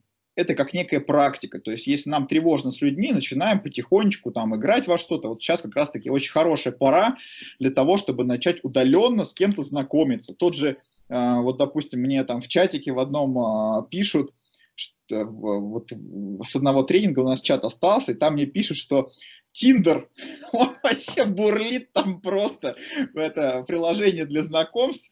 Говорят, народ просто в огромных количествах пытается знакомиться. Я, конечно, посмеялся. Это классно. Ну, то есть, в целом, вот э, люди пользуются моментом, э, пытаются прокачаться. И слайд, один из финальных, э, свели в одно инструменты для работы с волнением, со стрессом, для того, чтобы стать более успешным, с ним нужно справляться.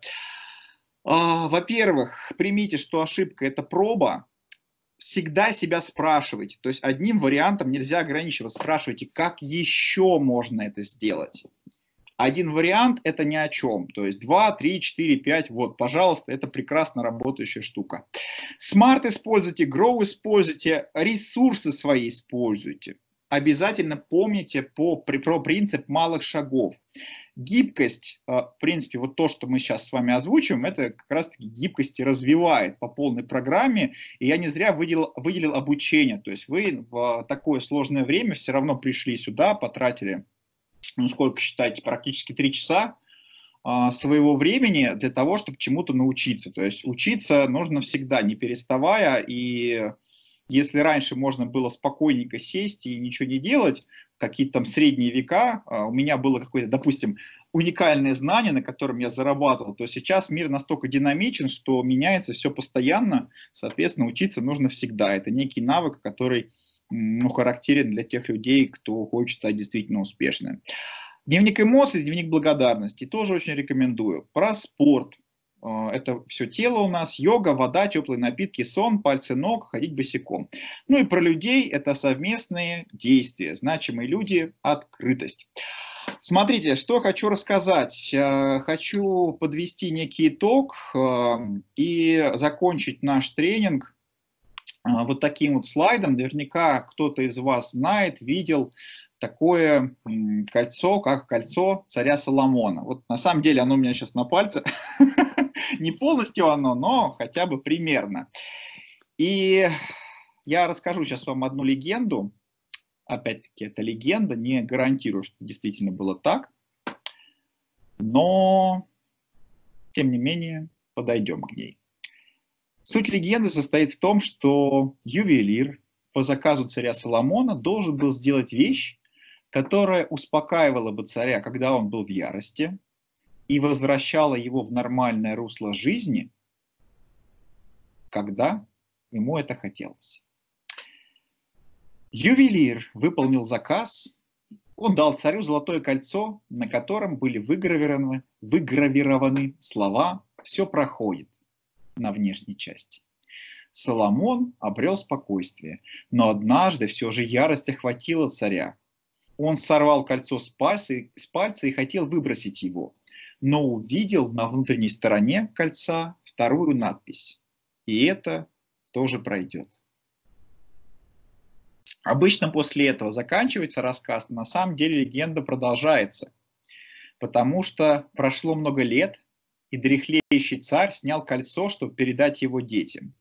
И только теперь он увидел на ребре кольца третью надпись ничего не проходит. Мы не сможем пережить, предсказать все катаклизмы. Не наступит эпохи, когда все будет ровно, эпохи всеобщего процветания, когда все будут всех любить. Нам придется жить в текущих обстоятельствах, в тех обстоятельствах, которые у нас есть уже сейчас. И для этого я предлагаю вам стать некой комбинацией консерватизма и гибкости, которую каждый для себя выберет сам. Надеюсь, наш тренинг был полезен, и я хотел бы услышать вопросы, если они у вас есть.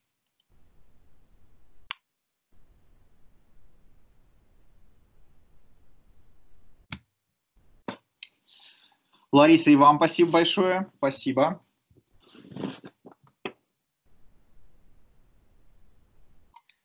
Спасибо, спасибо вам, коллеги.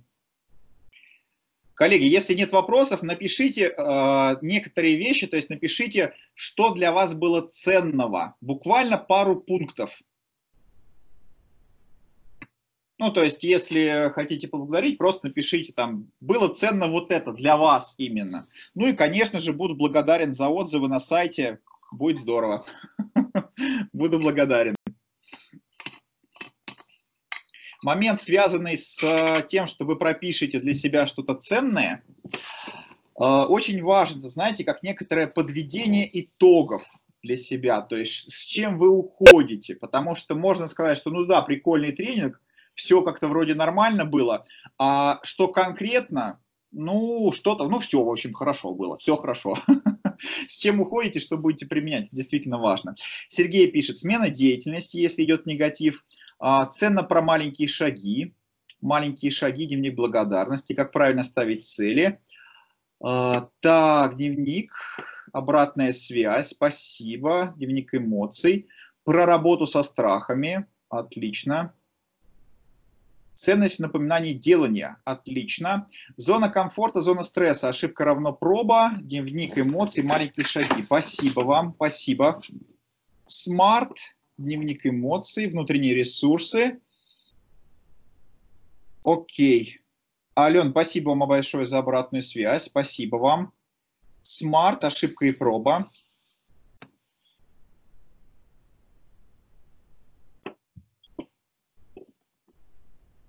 Дневник эмоций. Отличие тревоги и страха. Внешние и внутренние ресурсы. Цели SMART. Оксана по-прежнему, то есть мы с вами сможем остаться после занятия обсудить. Ну, то есть э, все в силе у нас с вами.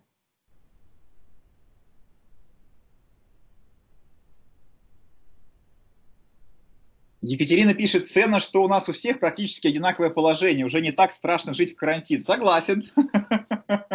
Спасибо вам. Смарт, внутренние ресурсы. Дарья, вы очень позитивны. Спасибо, спасибо, Дарья. Все полезно, ничего лишнего. Самое важное научиться себя мотивировать, то есть заставить себя что-то делать. А, мотивировать, заставлять можно в самом начале, когда вы только пытаетесь чуть-чуть вот куда-то пойти, можно, можно, потому что сдвинуться с места, вы знаете, самое сложное сдвинуться с места, а потом уже по накатанной пошли, пошли, пошли, пошли, так что классно.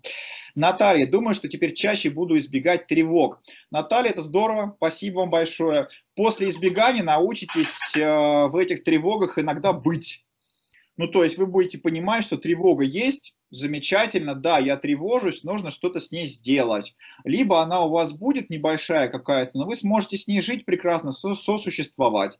Потому что базовые страхи, базовые тревоги, они у нас всегда есть. Тот же страх смерти, он у нас есть. И э, ну, я, конечно, тешу себя надеждой, что до моей смерти изобретут таблетку вечной жизни.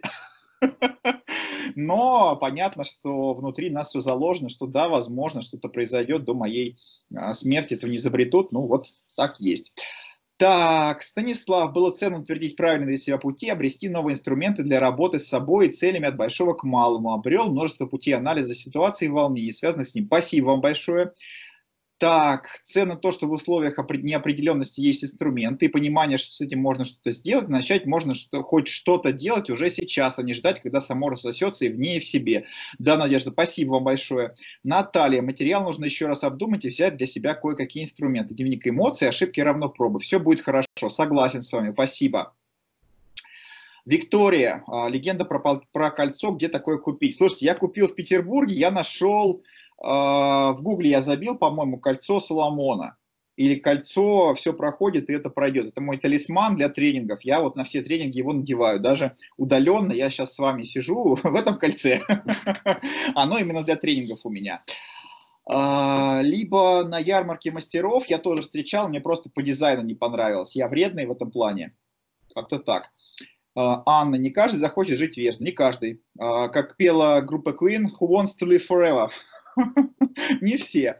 Галина, как быть гибким в предстоящей цифровизации, цифровые пропуска в режиме самоизоляции? Слушайте, а, я, конечно, ни к чему не призываю, но я думал, что я буду все электронные устройства оставлять дома, надевать маску и бегать там по улице по ночам. Это я не призываю, я не призываю. То есть кто-то, наверное, так будет делать. Я даже не знаю таких людей. А, в целом, ну что делать? Пережить нам это, что делать? Найти плюсы в этом, обучаться, а, изучать что-то новое, потому что времени много остается, нужно куда-то это все запускать, спортом заниматься. Как-то так. Юлия, вопросов больше нет. Из ценного мы узнали, что те вещи, которыми мы пользуемся каждый день, что отрадно были обозначены в данном семинаре. Постановка целей, малые шаги. Супер! Как правильно с точки зрения личностного развития, отличие тревоги и стресса. Спасибо вам большое. А, Елена, можно, пожалуйста, слайд с дневником благодарности увидеть? Пропустила. Да, конечно, можно. Сейчас включу. Отматываю. Так, Людмила. Получила направление для работы над страхом предпенсионера. Карантин – тьфу по сравнению с предпенсионным возрастом. Людмила, согласен с вами, и это очень важный момент, потому что в крупных компаниях зачастую есть вот должность TND, то есть э, человека, который занимается обучением и развитием, и они готовят людей к выходу как раз-таки на пенсию, а в большинстве компаний такого нет. И нужно всегда понимать, куда мы уходим, на что. Иначе это, знаете, вот в один день просыпаешься, никуда не нужно идти. Пару дней живешь в состоянии такой, как классно, радостно. А потом оказывается, что де, действие это было очень важно. А, Наталья, первый опыт семинара по психологии, тем более дистанционно. Я очень довольна, привыкаю к дистанционному обучению в новых реалиях. Для себя выявила, что надо ставить конкретные даты свои хочу. Да, все правильно, Наталья. Я, тем не менее, сказал бы, что у нас не совсем психология, потому что я вам дал достаточно много инструментов, чтобы вы их применяли. Другое дело, что если мы говорим про полноценный тренинг, там бы я вас мучил еще сильнее и было бы гораздо больше инструментов. Так я просто вас ознакомил и все остальное исключительно на вашу ответственность. Дарья, также очень ценно, что есть возможность в такое время с пользой провести время для всех, а также весь тренинг с душой. Спасибо вам огромное. А, Ирина, 49 слайд. Да, думаю, можно. Сейчас, секундочку, я посмотрю, что там у нас 49 -й. Дайте себе вопросы. Так, так, так, так, так, так, так, 49-й. Вот этот, окей. Выход на пенсию неплохо, но себе теперь, по себе теперь знаю. Но я не говорю, что это плохо, понимаете? То есть это про смену деятельности. Смену деятельности не всегда все могут сменить деятельность. То есть, если вы можете, это про вашу гибкость, про то, как вы можете подстроиться к новым условиям. Это потрясающе. То есть, это тот навык, которому стоит позавидовать. Алла, как пережить ошибку, которая привела к серьезным последствиям? К сожалению, пропустила первую часть курса. Слушайте, тут есть такая вещь, как принятие. А, принятие – это про то, что мы не сможем ее исправить. И во-первых, не нужно от нее убегать. Ну, то есть самая э, основная ошибка, которую мы делаем, мы берем и стараемся от этой вот ошибки убежать.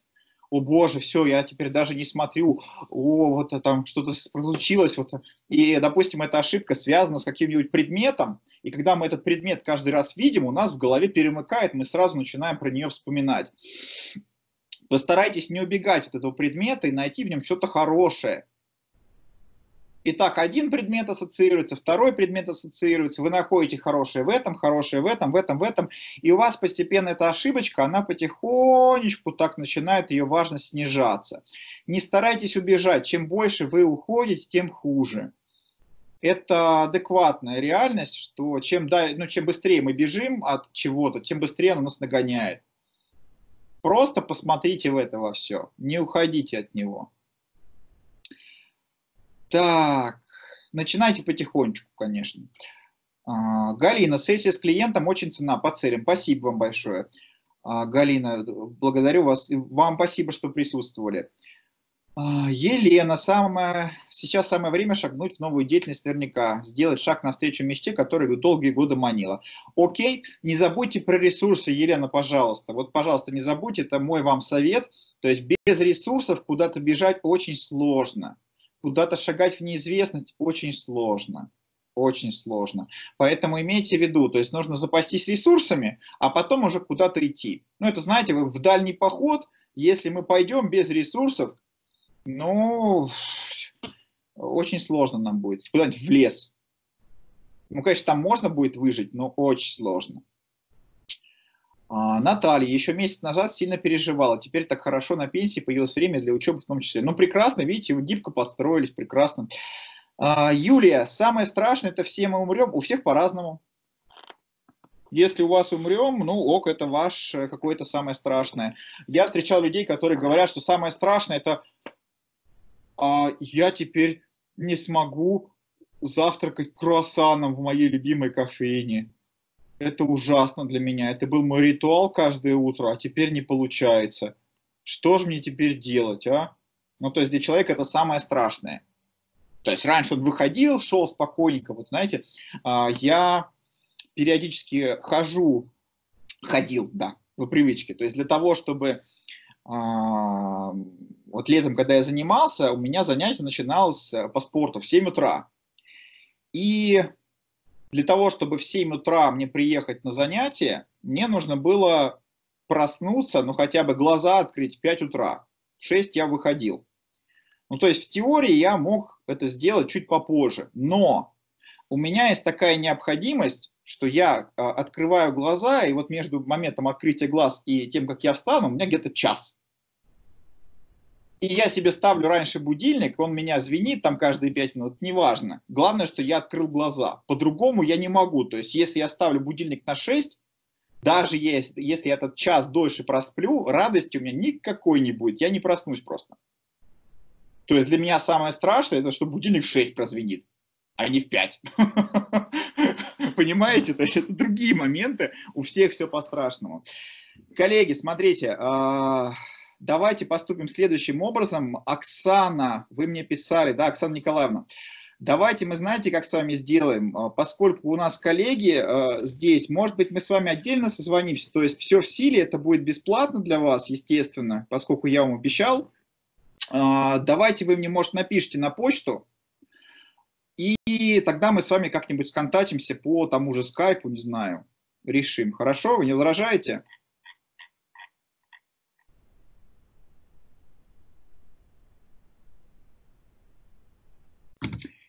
Да, Оксан, а, моя почта есть на сайте, без проблем, можете найти меня. Юлия, смерть – это конец всему, это не страх. Смотрите, есть страх смерти это не страх того, что там будет после этого, это страх смерти, это базовый страх вообще человечества, человека как такового. А, то есть вот даже если вы в тот же интернет залезете, забьете, а, это базовый страх.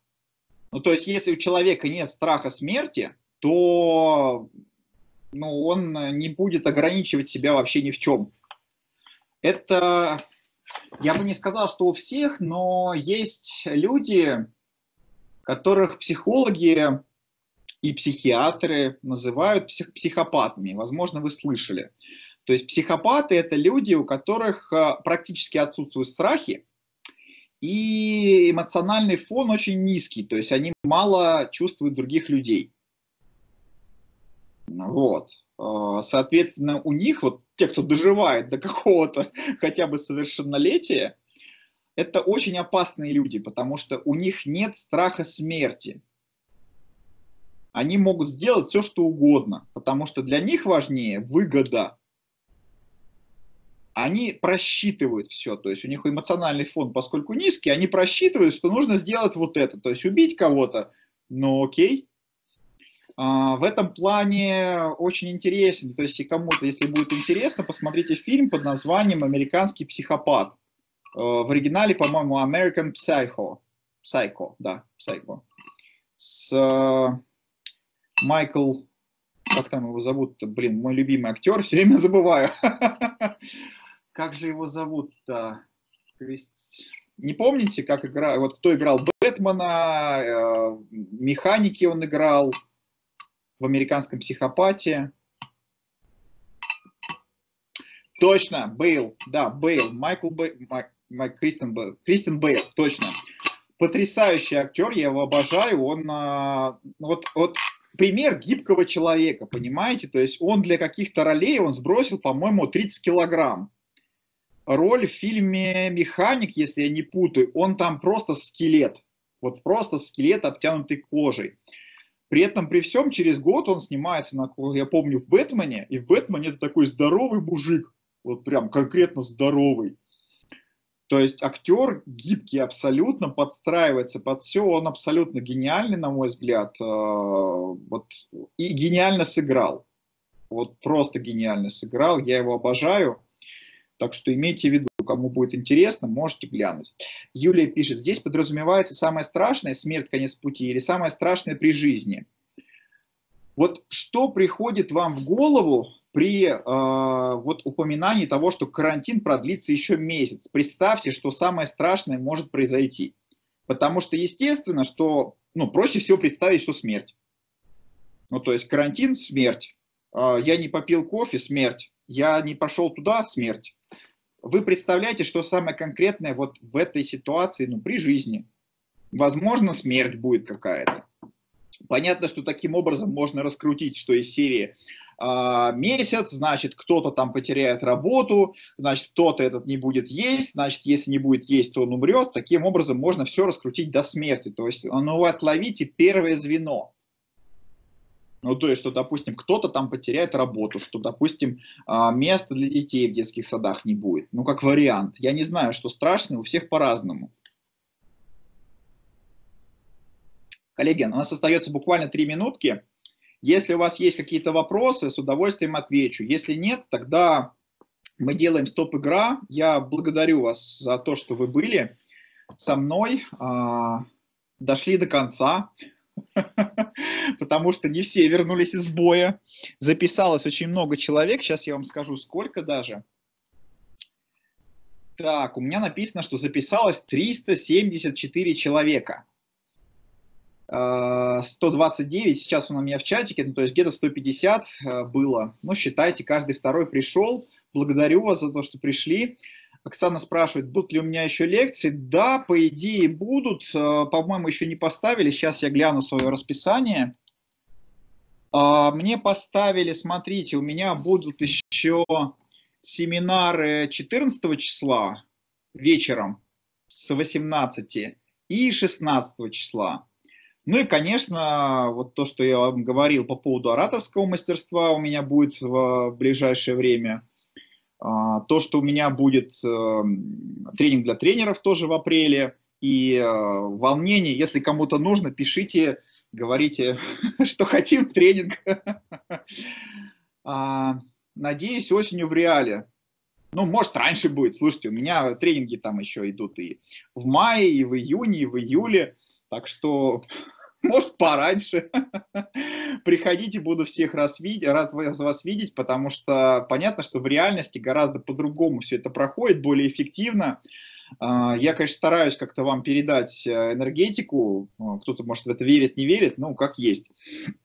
Но просто для меня более важен контакт именно личный с человеком, потому что всегда можно что-то обсудить, о чем-то поговорить это для меня важнее, более ценно и э, чем-то можно действительно поделиться. Сейчас я вас не вижу, но тем не менее при помощи голоса все равно а, стараюсь каким-то образом с вами коммуницировать и что-то интересное и полезное вам дать. В любом случае следите за сайтом, а, заходите иногда там на страничку на мою, а, там появляются новые тренинги, меня там отмечают в них. Буду рад. Буду рад. Спасибо вам огромное. Окей, коллеги, тогда я делаю отбой. Спасибо вам за то, что участвовали. Счастливо.